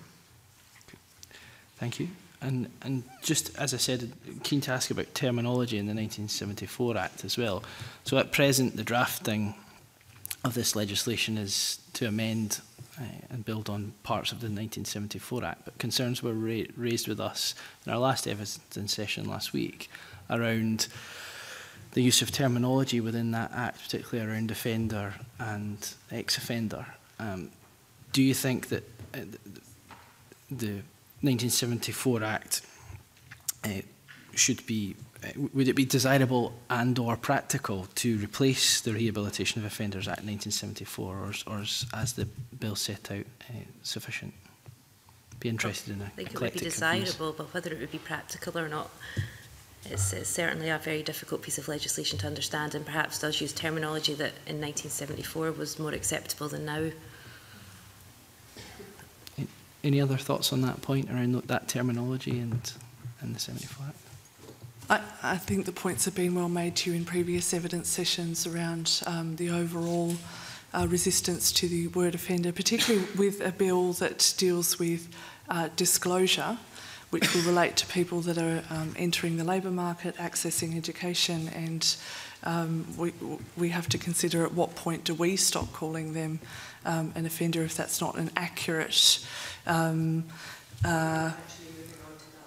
point now, yeah. so can I okay. bring Liam, Thank you, Convener. Liam Karen?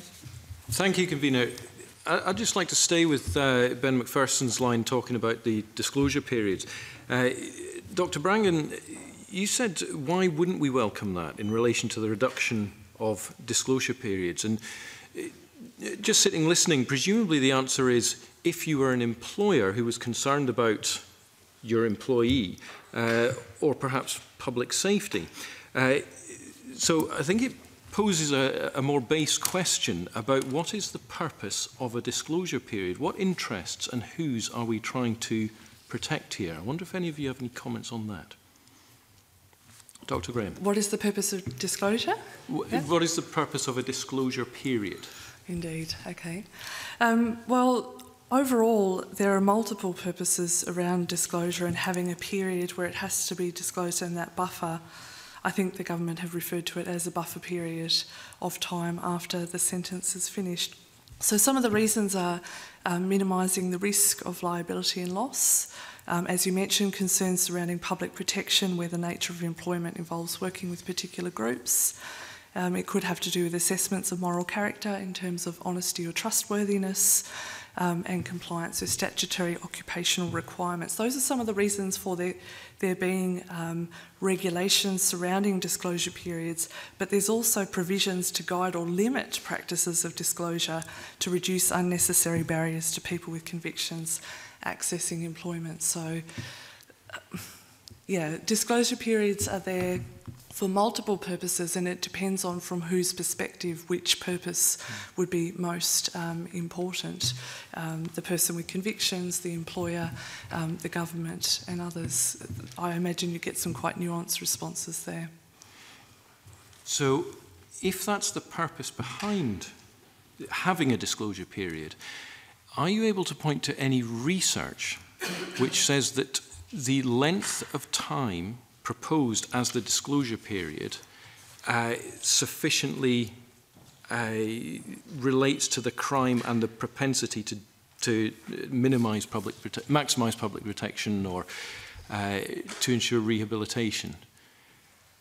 Um, so Beth has done a review of um, time for redemption studies and those look empirically at um, the amount of time that it might take for a person with convictions um, to basically resemble the same, um, as be considered as posing the same amount of risk as people with no convictions. It's done on conviction and not offending because it's entirely possible there's offending that doesn't get caught, um, and also. Uh, there's cautions against the risk of a non-convicted person not having um, a baseline level of zero in terms of probability of offending. So the, the research has shown that in general, an average of seven to 10 years without a new arrest or conviction, a person's criminal record essentially loses its predictive value. And that is overarching in studies that have been done across a national cohort, as well as studies that have been done with Justice City. Um, and so that means that after seven to 10 years, even irrespective of crime type, there are a few subtleties that, for example, um, people who have been convicted of violent crimes it might take slightly longer um, for their criminal record to lose its predictive value. But overall, after seven to 10 years, the, um, the risk of reconviction is essentially not particularly different between convicted and non-convicted people. Uh, do you want to say something, Mr. Thompson? No, okay. Um, so uh, you're comfortable then that the proposed disclosure periods are sufficiently plotted against what the evidence said would be appropriate? Is that what I can take from this? Um, by and large, but supporting um, uh, Dr. Brennan's submissions, it could go further. um, and we could consider why um, disclosure periods at which point something can then have the chance of becoming a spent conviction, why that isn't being extended beyond um, into those who serve long-term sentences. Because in terms of European research and European uh, practices, it's not necessarily widespread that this applies. It's more unique to to the UK and elsewhere, they're not routinely doing employer checks of um, uh, criminal records and background checks necessarily as a norm. That's interesting. Could you just elaborate on that? Forgive me, convener. Um, I think what you just said was that uh, what we are doing in regards to disclosure as a principle is unusual uh, in relation to the European angle. Is that correct? Aspects of the European angle. Europe uh, is a big place. So, one of the options that's moderately common in a number of countries, and I can list them, is the option of expungement of criminal records. So, that means not revealing spent con convictions. And through the European Convention of Human Rights and the European, I believe, challenges in the European Court of Human Rights, um, there have been questions raised about uh, the bill at, as it currently stands relates to basic disclosure, but there have been questions raised why in, in standard and enhanced and in other uh, forms of disclosure checking that um, information can still come up about spent and un unspent convictions. So expungement of criminal records, um, not revealing spent convictions. directions is quite true for Finland, France, Germany, Greece, Hungary, Italy, Luxembourg, Spain, and a longer list. And so, um, yeah, that, that's moderately common practice. And if you wish for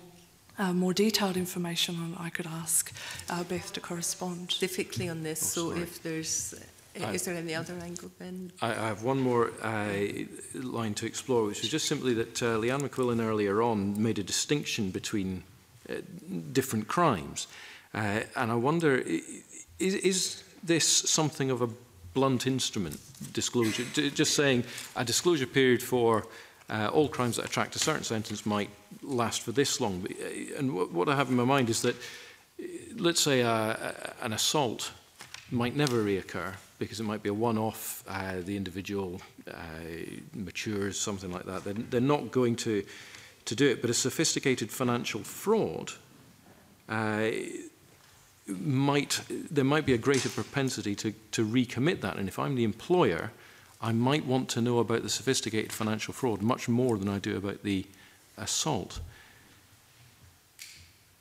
Is that a fair uh, distinction to make? Indeed. So are you saying that there are some types of um, disclosure, disclosure information about crime type that would be more relevant to particular types of occupations, or are you saying uh, employers in general? Perhaps. I, I guess I'm suggesting that uh, by having a kind of blanket disclosure policy, uh, after X time, you do not need to disclose. Uh, actually, if there is a distinction between crimes, the, the type of people who are committing them and the, the state of their ability to do so I, as the employer, might have a greater interest in knowing about it regardless of the length of time that's passed. Indeed, but if we bring up the question of their ability to do so and reoffending, there might be some very um, complex and difficult conversations to be had because um, relevance to the occupational role of disclosure and propensity to uh, reoffend or be reconvicted are, are separate considerations based on crime type. Um, for example, uh, shoplifting might have moderate or high uh, reconviction, and other types of crimes such as sexual violence might have moderate or low uh, risk of reconviction. So I wouldn't go, uh, I'd urge caution about moving towards it being about risk of uh, reconviction because there might be some very difficult uh, public conversations to be had there.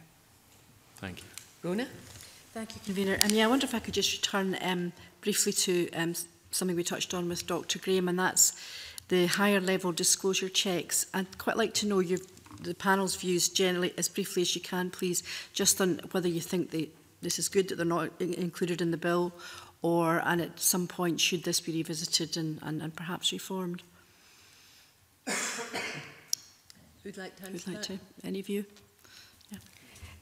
So Howard League Scotland, we would absolutely recommend that the higher level disclosures need to be addressed. We could amend. We, if we think about the disclosure periods that we're addressing today, that's welcome, but we, we look at it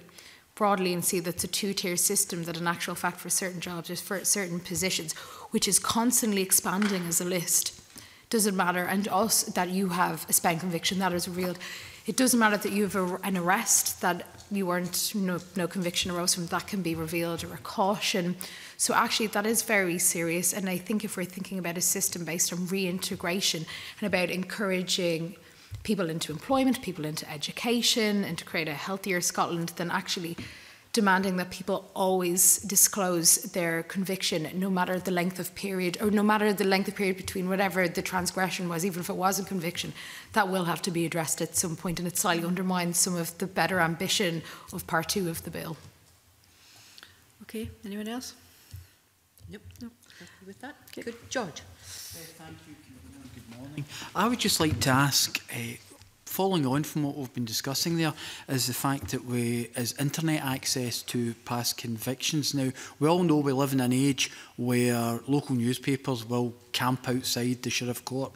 and will report on these stories, as is their right.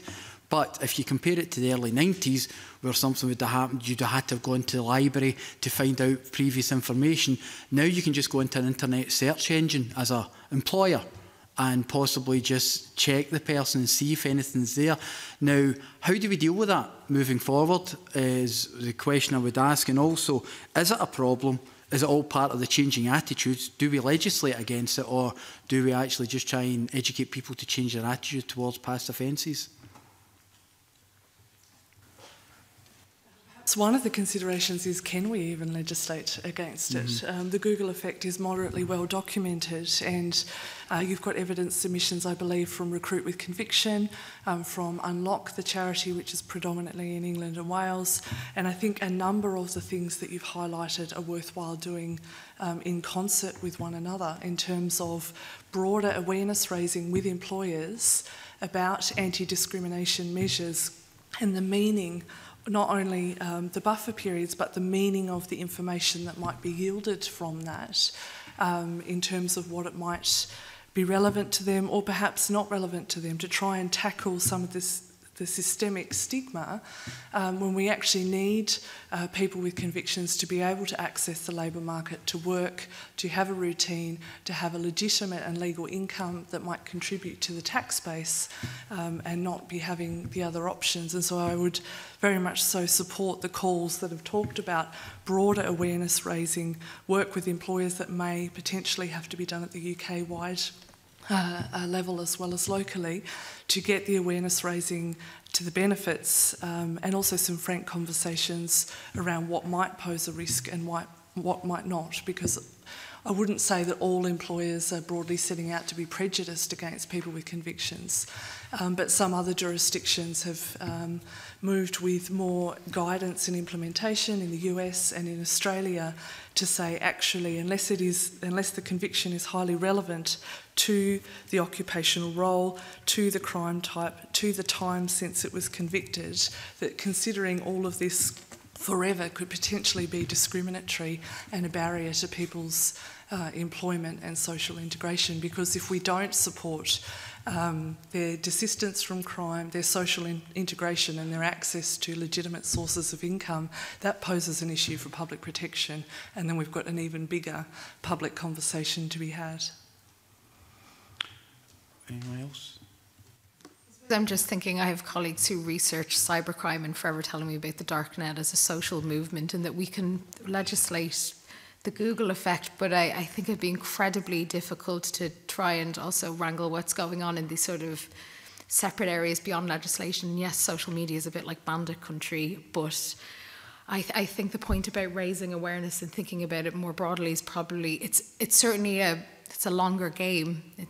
can't just be tackled with legislation. It's something we have to have a robust conversation about.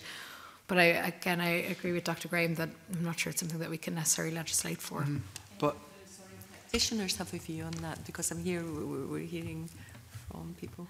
What well, uh, Douglas said earlier about explaining terminology and perhaps publishing some guide, guide, guidance for employers along with Uh, if the Act comes into force, about exactly what, what is a summary conviction, what is an admonition, because some, some people have no experience of criminal justice and might assume that well, someone has a conviction that, that they're a criminal, and perhaps just making it clear about what these disposals mean, um, and it, uh, it, uh, like an admonition that if it's one conviction, it's, it's one conviction, and exactly what the powers in a summary court are, it's it not necessarily as bad as it looks on, on first blush.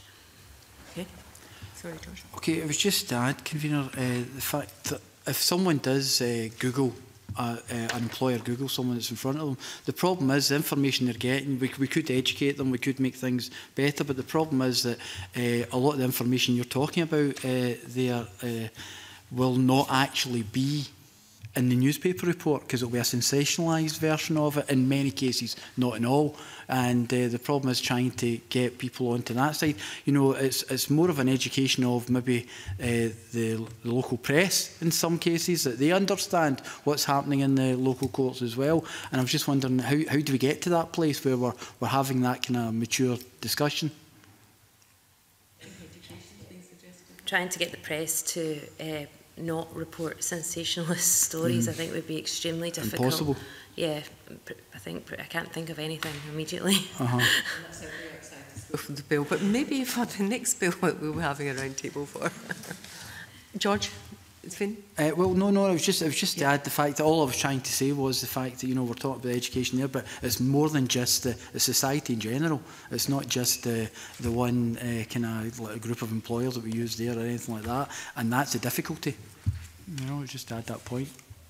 Okay, thank you, Maddie really just had some questions, and it was around the parole board, and I know that a few of you had talked about that in your written submissions uh, to the committee, but I was just wondering if, if somebody wanted to outline, first of all, exactly how it operates at the moment and what those changes will mean, um, because there were a few things that interested me uh, in the submissions.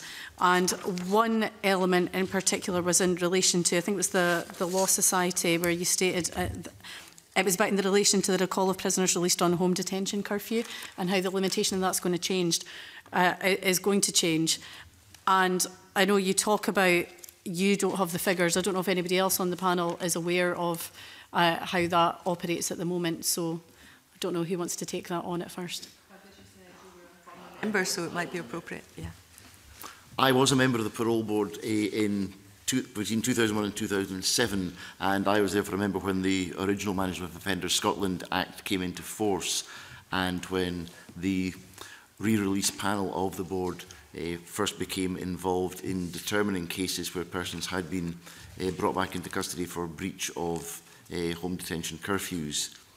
And as I hinted at earlier, the very early teething stages of that was a particularly difficult time for the board because the quality of information was not good and the time period for information to become available was sometimes far greater than it should have been.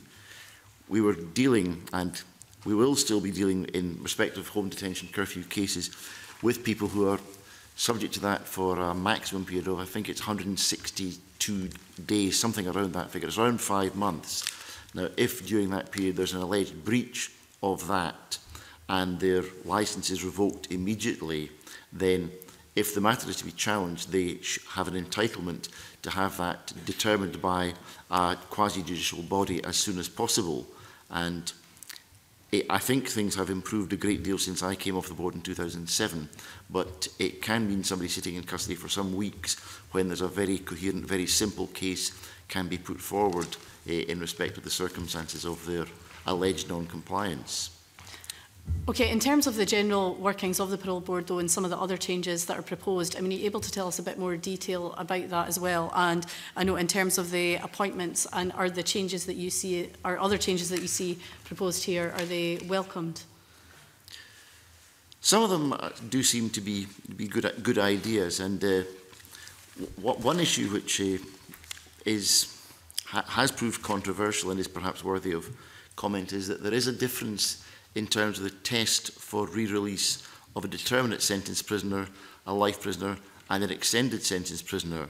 Now that's based upon the decisions of the European Court of Human Rights and based upon English appellate case law. And uh, it is perhaps a little anomalous that uh, when somebody is serving a life sentence, the question is whether that is necessary for the protection of the public. But when somebody is serving an extended sentence, the test is whether it's necessary for the protection of the public from risk of serious harm. Now, it's a little anomalous that the two a, eh, tests are slightly different, and I don't think that it would be creating or likely to create injustice if there were a uniform test for when a person is fit to be released from custody when the public would be felt to be adequately protected. I think the, the serious harm test, while, there is a, while it has a logic behind it, in practical terms, I suspect that the board continues, as it did when I was a member, to apply everyday common sense to the situation. If you have a concern that somebody is not yet at a position where they can safely be re released back into society, then the terminology is not really the key and it's not necessarily helpful. Okay. Uh, Dr Rangan, I don't know if you want to comment uh, because I noticed that there was quite a lot in your submission relating to the parole boards as well and if you want to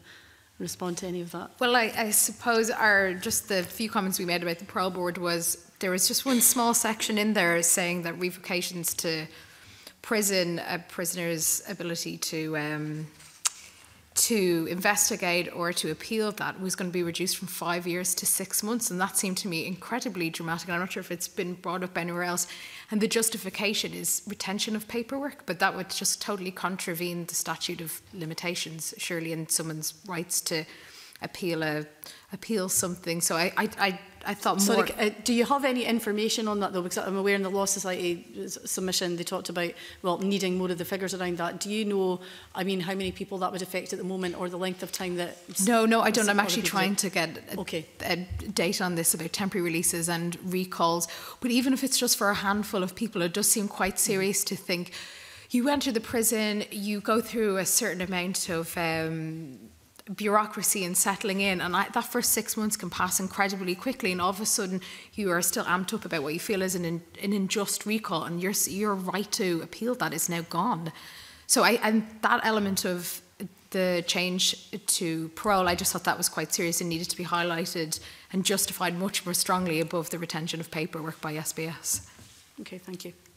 Thank you. Um, Daniel. I'd just um, like to begin by following up on, on uh, some things that Douglas Thompson was just saying there about the, the test. Indeed, the Pro Board submission uh, went to some length, uh, I think, expressing a degree of dissatisfaction with the bill. Uh, and, I mean, would you agree with their point of view that we could do with greater clarity? And then, moreover, obviously the role of the parole board has I think, had a degree of increased kind of uh, scrutiny given the War Boys case uh, in, in England. Do, do you think that having greater clarity around these questions, not just useful for the parole board themselves, but actually serves a, a transparency role? And I'm just wondering if there are any other reflections given the, the, the, the details of the War Boys case you or any other panelists might have.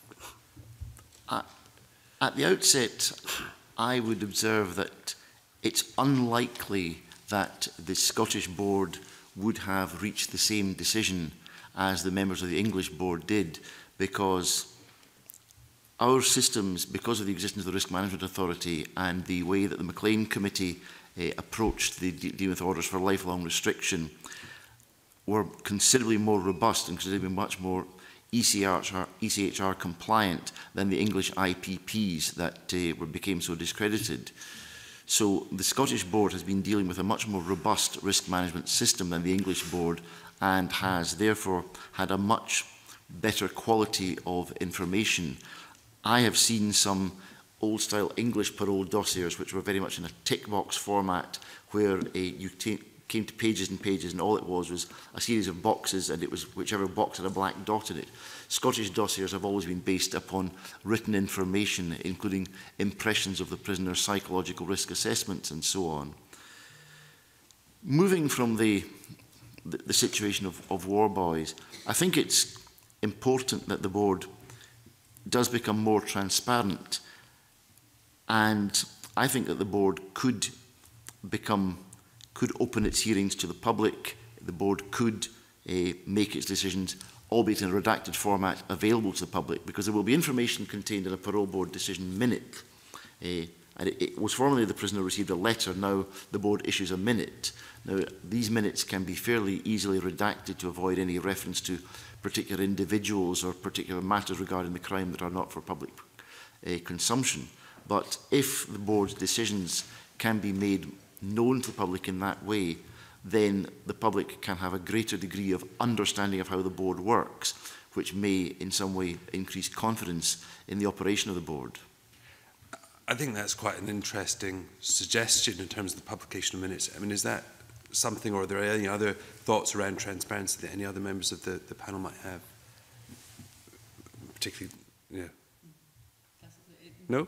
Answer? Uh, you don't have to. So the other the critical question I think uh, regarding the parole board is its independence. And again, this is something that the parole board submission uh, went to some length, I think expressing some concern. Uh, I think the sentiment being that while there are provisions uh, around uh, its status and independence, that they could be more substantial and certainly put on a, an equivalent footing to other aspects of the court system. Uh, again, I was just wondering whether or not, and obviously particular, Mr Thompson, whether or not you had views, but again, if there are any other views from the panel I, I would be interested in them. The parole board tribunal system is a, it's a very odd part of the Scottish legal system. It's called a tribunal, but it doesn't form part of the Scottish Courts and Tribunal Service. Mm -hmm. And there is no automatic appellate process from the decision of the parole board. So it sits in a rather ad hoc position. It was created in 1967 in a very different world, uh, and it was created uh, to fill a, fill a gap that was perceived following some decisions or some cases that took place in England at the time, and Scotland effectively tagged along with England at the time. And uh, we've moved on considerably since then. The board in Scotland has had a greater degree of autonomy than the board in England. The appointment process for members in Scotland was uh, improved considerably in the 2001 Act, uh, and uh, members had security of tenure in Scotland, and the Scottish Board has never been part of the, uh, I think it was the probation service that actually ran or, or funded the parole board in England and Wales.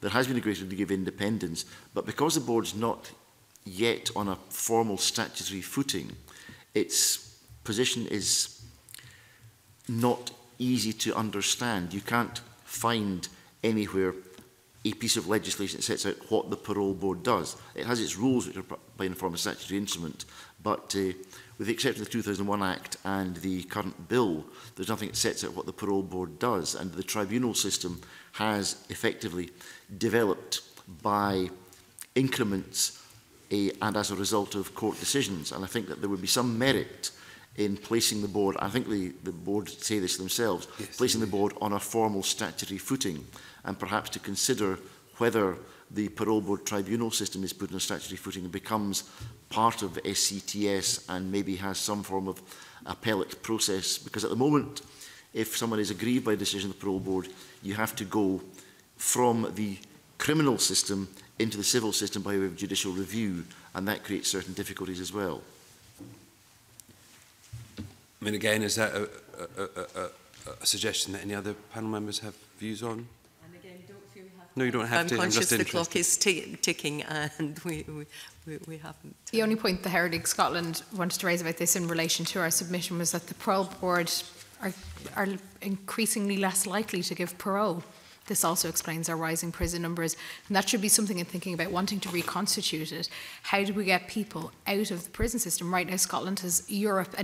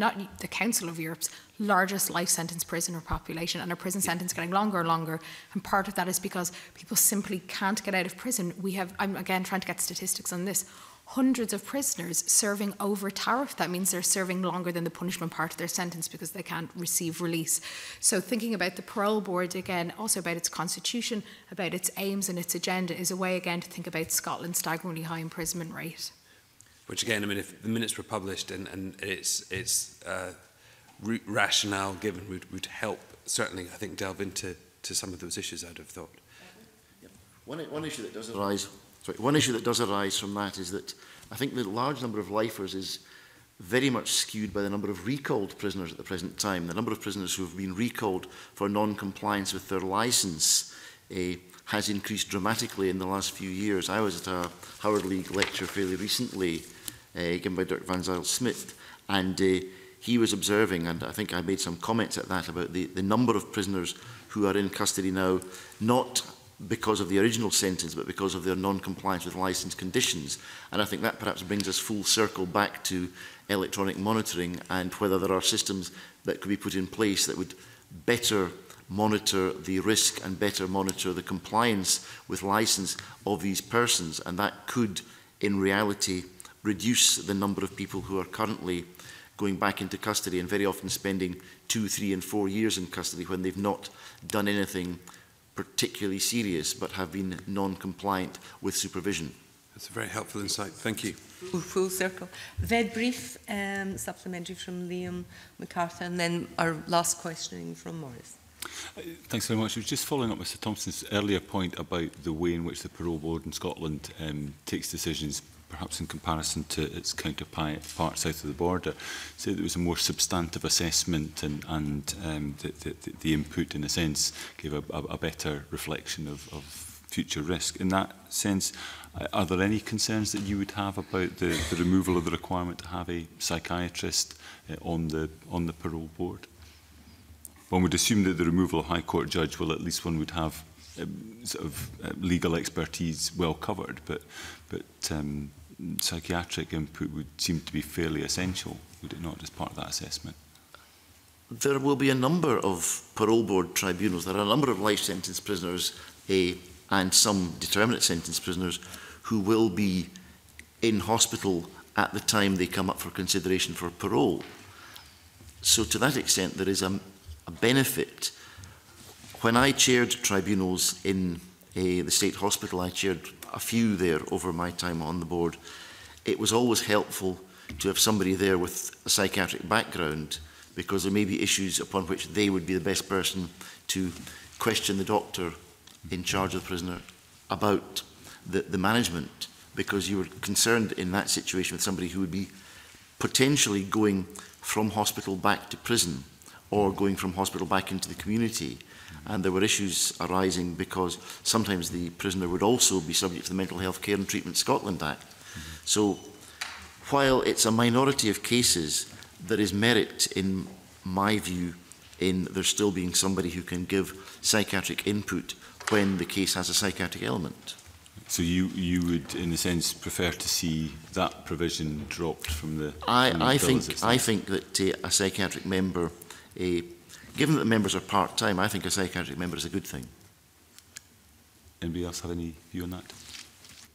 No. Thanks. Morris. Thank you. Um, with, with reference to the functions of the parole board regarding uh, prisoners themselves, does the panel have any concerns about the proposed changes affecting the functions of the parole board in this regard? I leave it open to any of you to come back on that.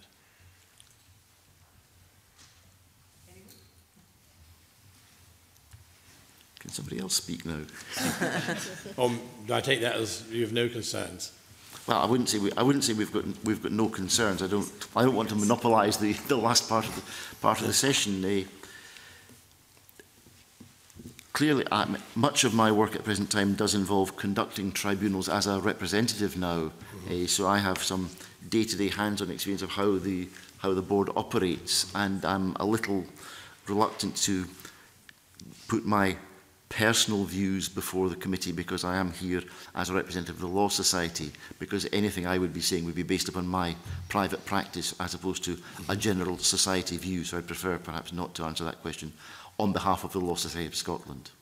Right, okay. Does anybody want to add to that? a no to that. Oh, no, right. okay. Thank you. And that completes our line questioning. Um, Ken, I, think it's been a very long session, so I thank you for your forbearance. But the information we've got from that, the direction we've gone, uh, we have um, gone in has been extremely helpful. So can I thank you all for your attendance today. We'll have uh, a suspension now and a comfort break and resume in about five to ten minutes.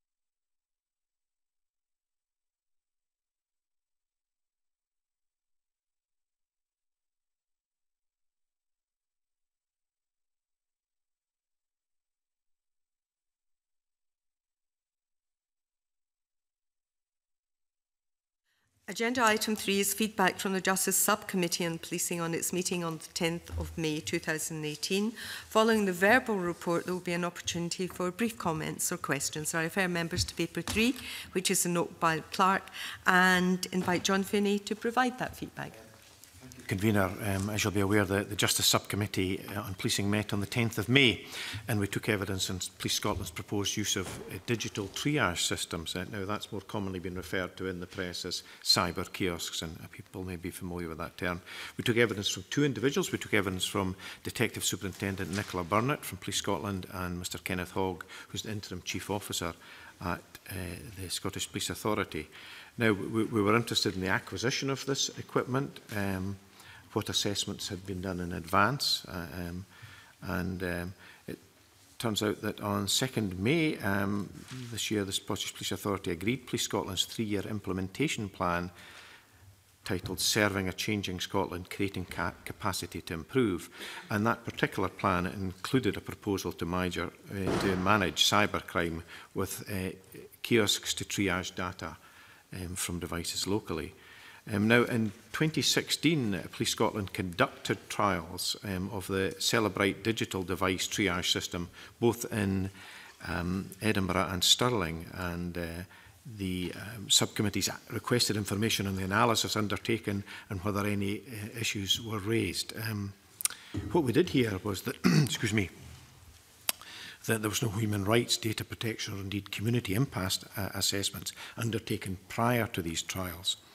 Um, and uh, the Police Scotland selected Celebrate product and anticipates rolling out 41 kiosks across the force area later this year. Uh, they gave us an assurance that these assessments of quality, human rights, data protections will be undertaken, officers trained and issues addressed before the rollout of the kiosks. Uh, and they say the anticipated date of the introduction is uh, autumn 2018. Now, there was a cumulative spend of about a million pounds in relation to this and the particular trials um, involved uh, interaction with over 600 uh, devices, um, SIM cards and the like. and it's fair to say that um, that um, there were a considerable number of questions that came out that members had, um, and uh, these have been put in a letter which has gone off to, to Police Scotland, uh, a, a somewhat lengthy letter seeking uh, information there. Um, we sought to be reassured, and I, I think it's Well, let me own the statement. Eh, I certainly wasn't reassured with what I heard. It, it created more questions. Um, we also considered uh, convening our forward work programme and agreed to schedule an evidence session on Police Scotland's firearms licensing process. Um, and uh, we will be returning to Police Scotland's digital data and ICT strategy prior to the summer recess. I'm very happy to take any questions. So. Thank you. Do members have any questions or comments to, to make Liam, uh, Liam MacArthur? Uh, thanks, Owen. Just to echo um, John's sentiments in terms of the conclusion of the, the evidence session, I think, as, as he rightly says, that there seem to be more questions raised than necessarily answered, provided that's not to say I don't think all of us accepted there were benefits and fairly clear benefits outlined from use of technology. But uh, I think all of us were, um, I, I think, seized to the need to ensure that all of the, the safeguards uh, that are appropriate are in place before there's any national rollout to this. Yeah, I think that's certainly the case that we, they weren't able to answer certain questions, and I think there was a real concern about procurement maybe taking place before um, they'd really looked at how data is stored at present and uh, any pitfalls. So it was a good subject to look at and one which uh, we will be pursuing. Right, that being the case, we now move into private session. That concludes public part of today's meeting. Our next meeting will be on Tuesday, 22nd of May when we'll be continuing our evidence taking on the Management of Offenders Bill. So I, uh, I suspend briefly, there's nobody here, we, we move into private session.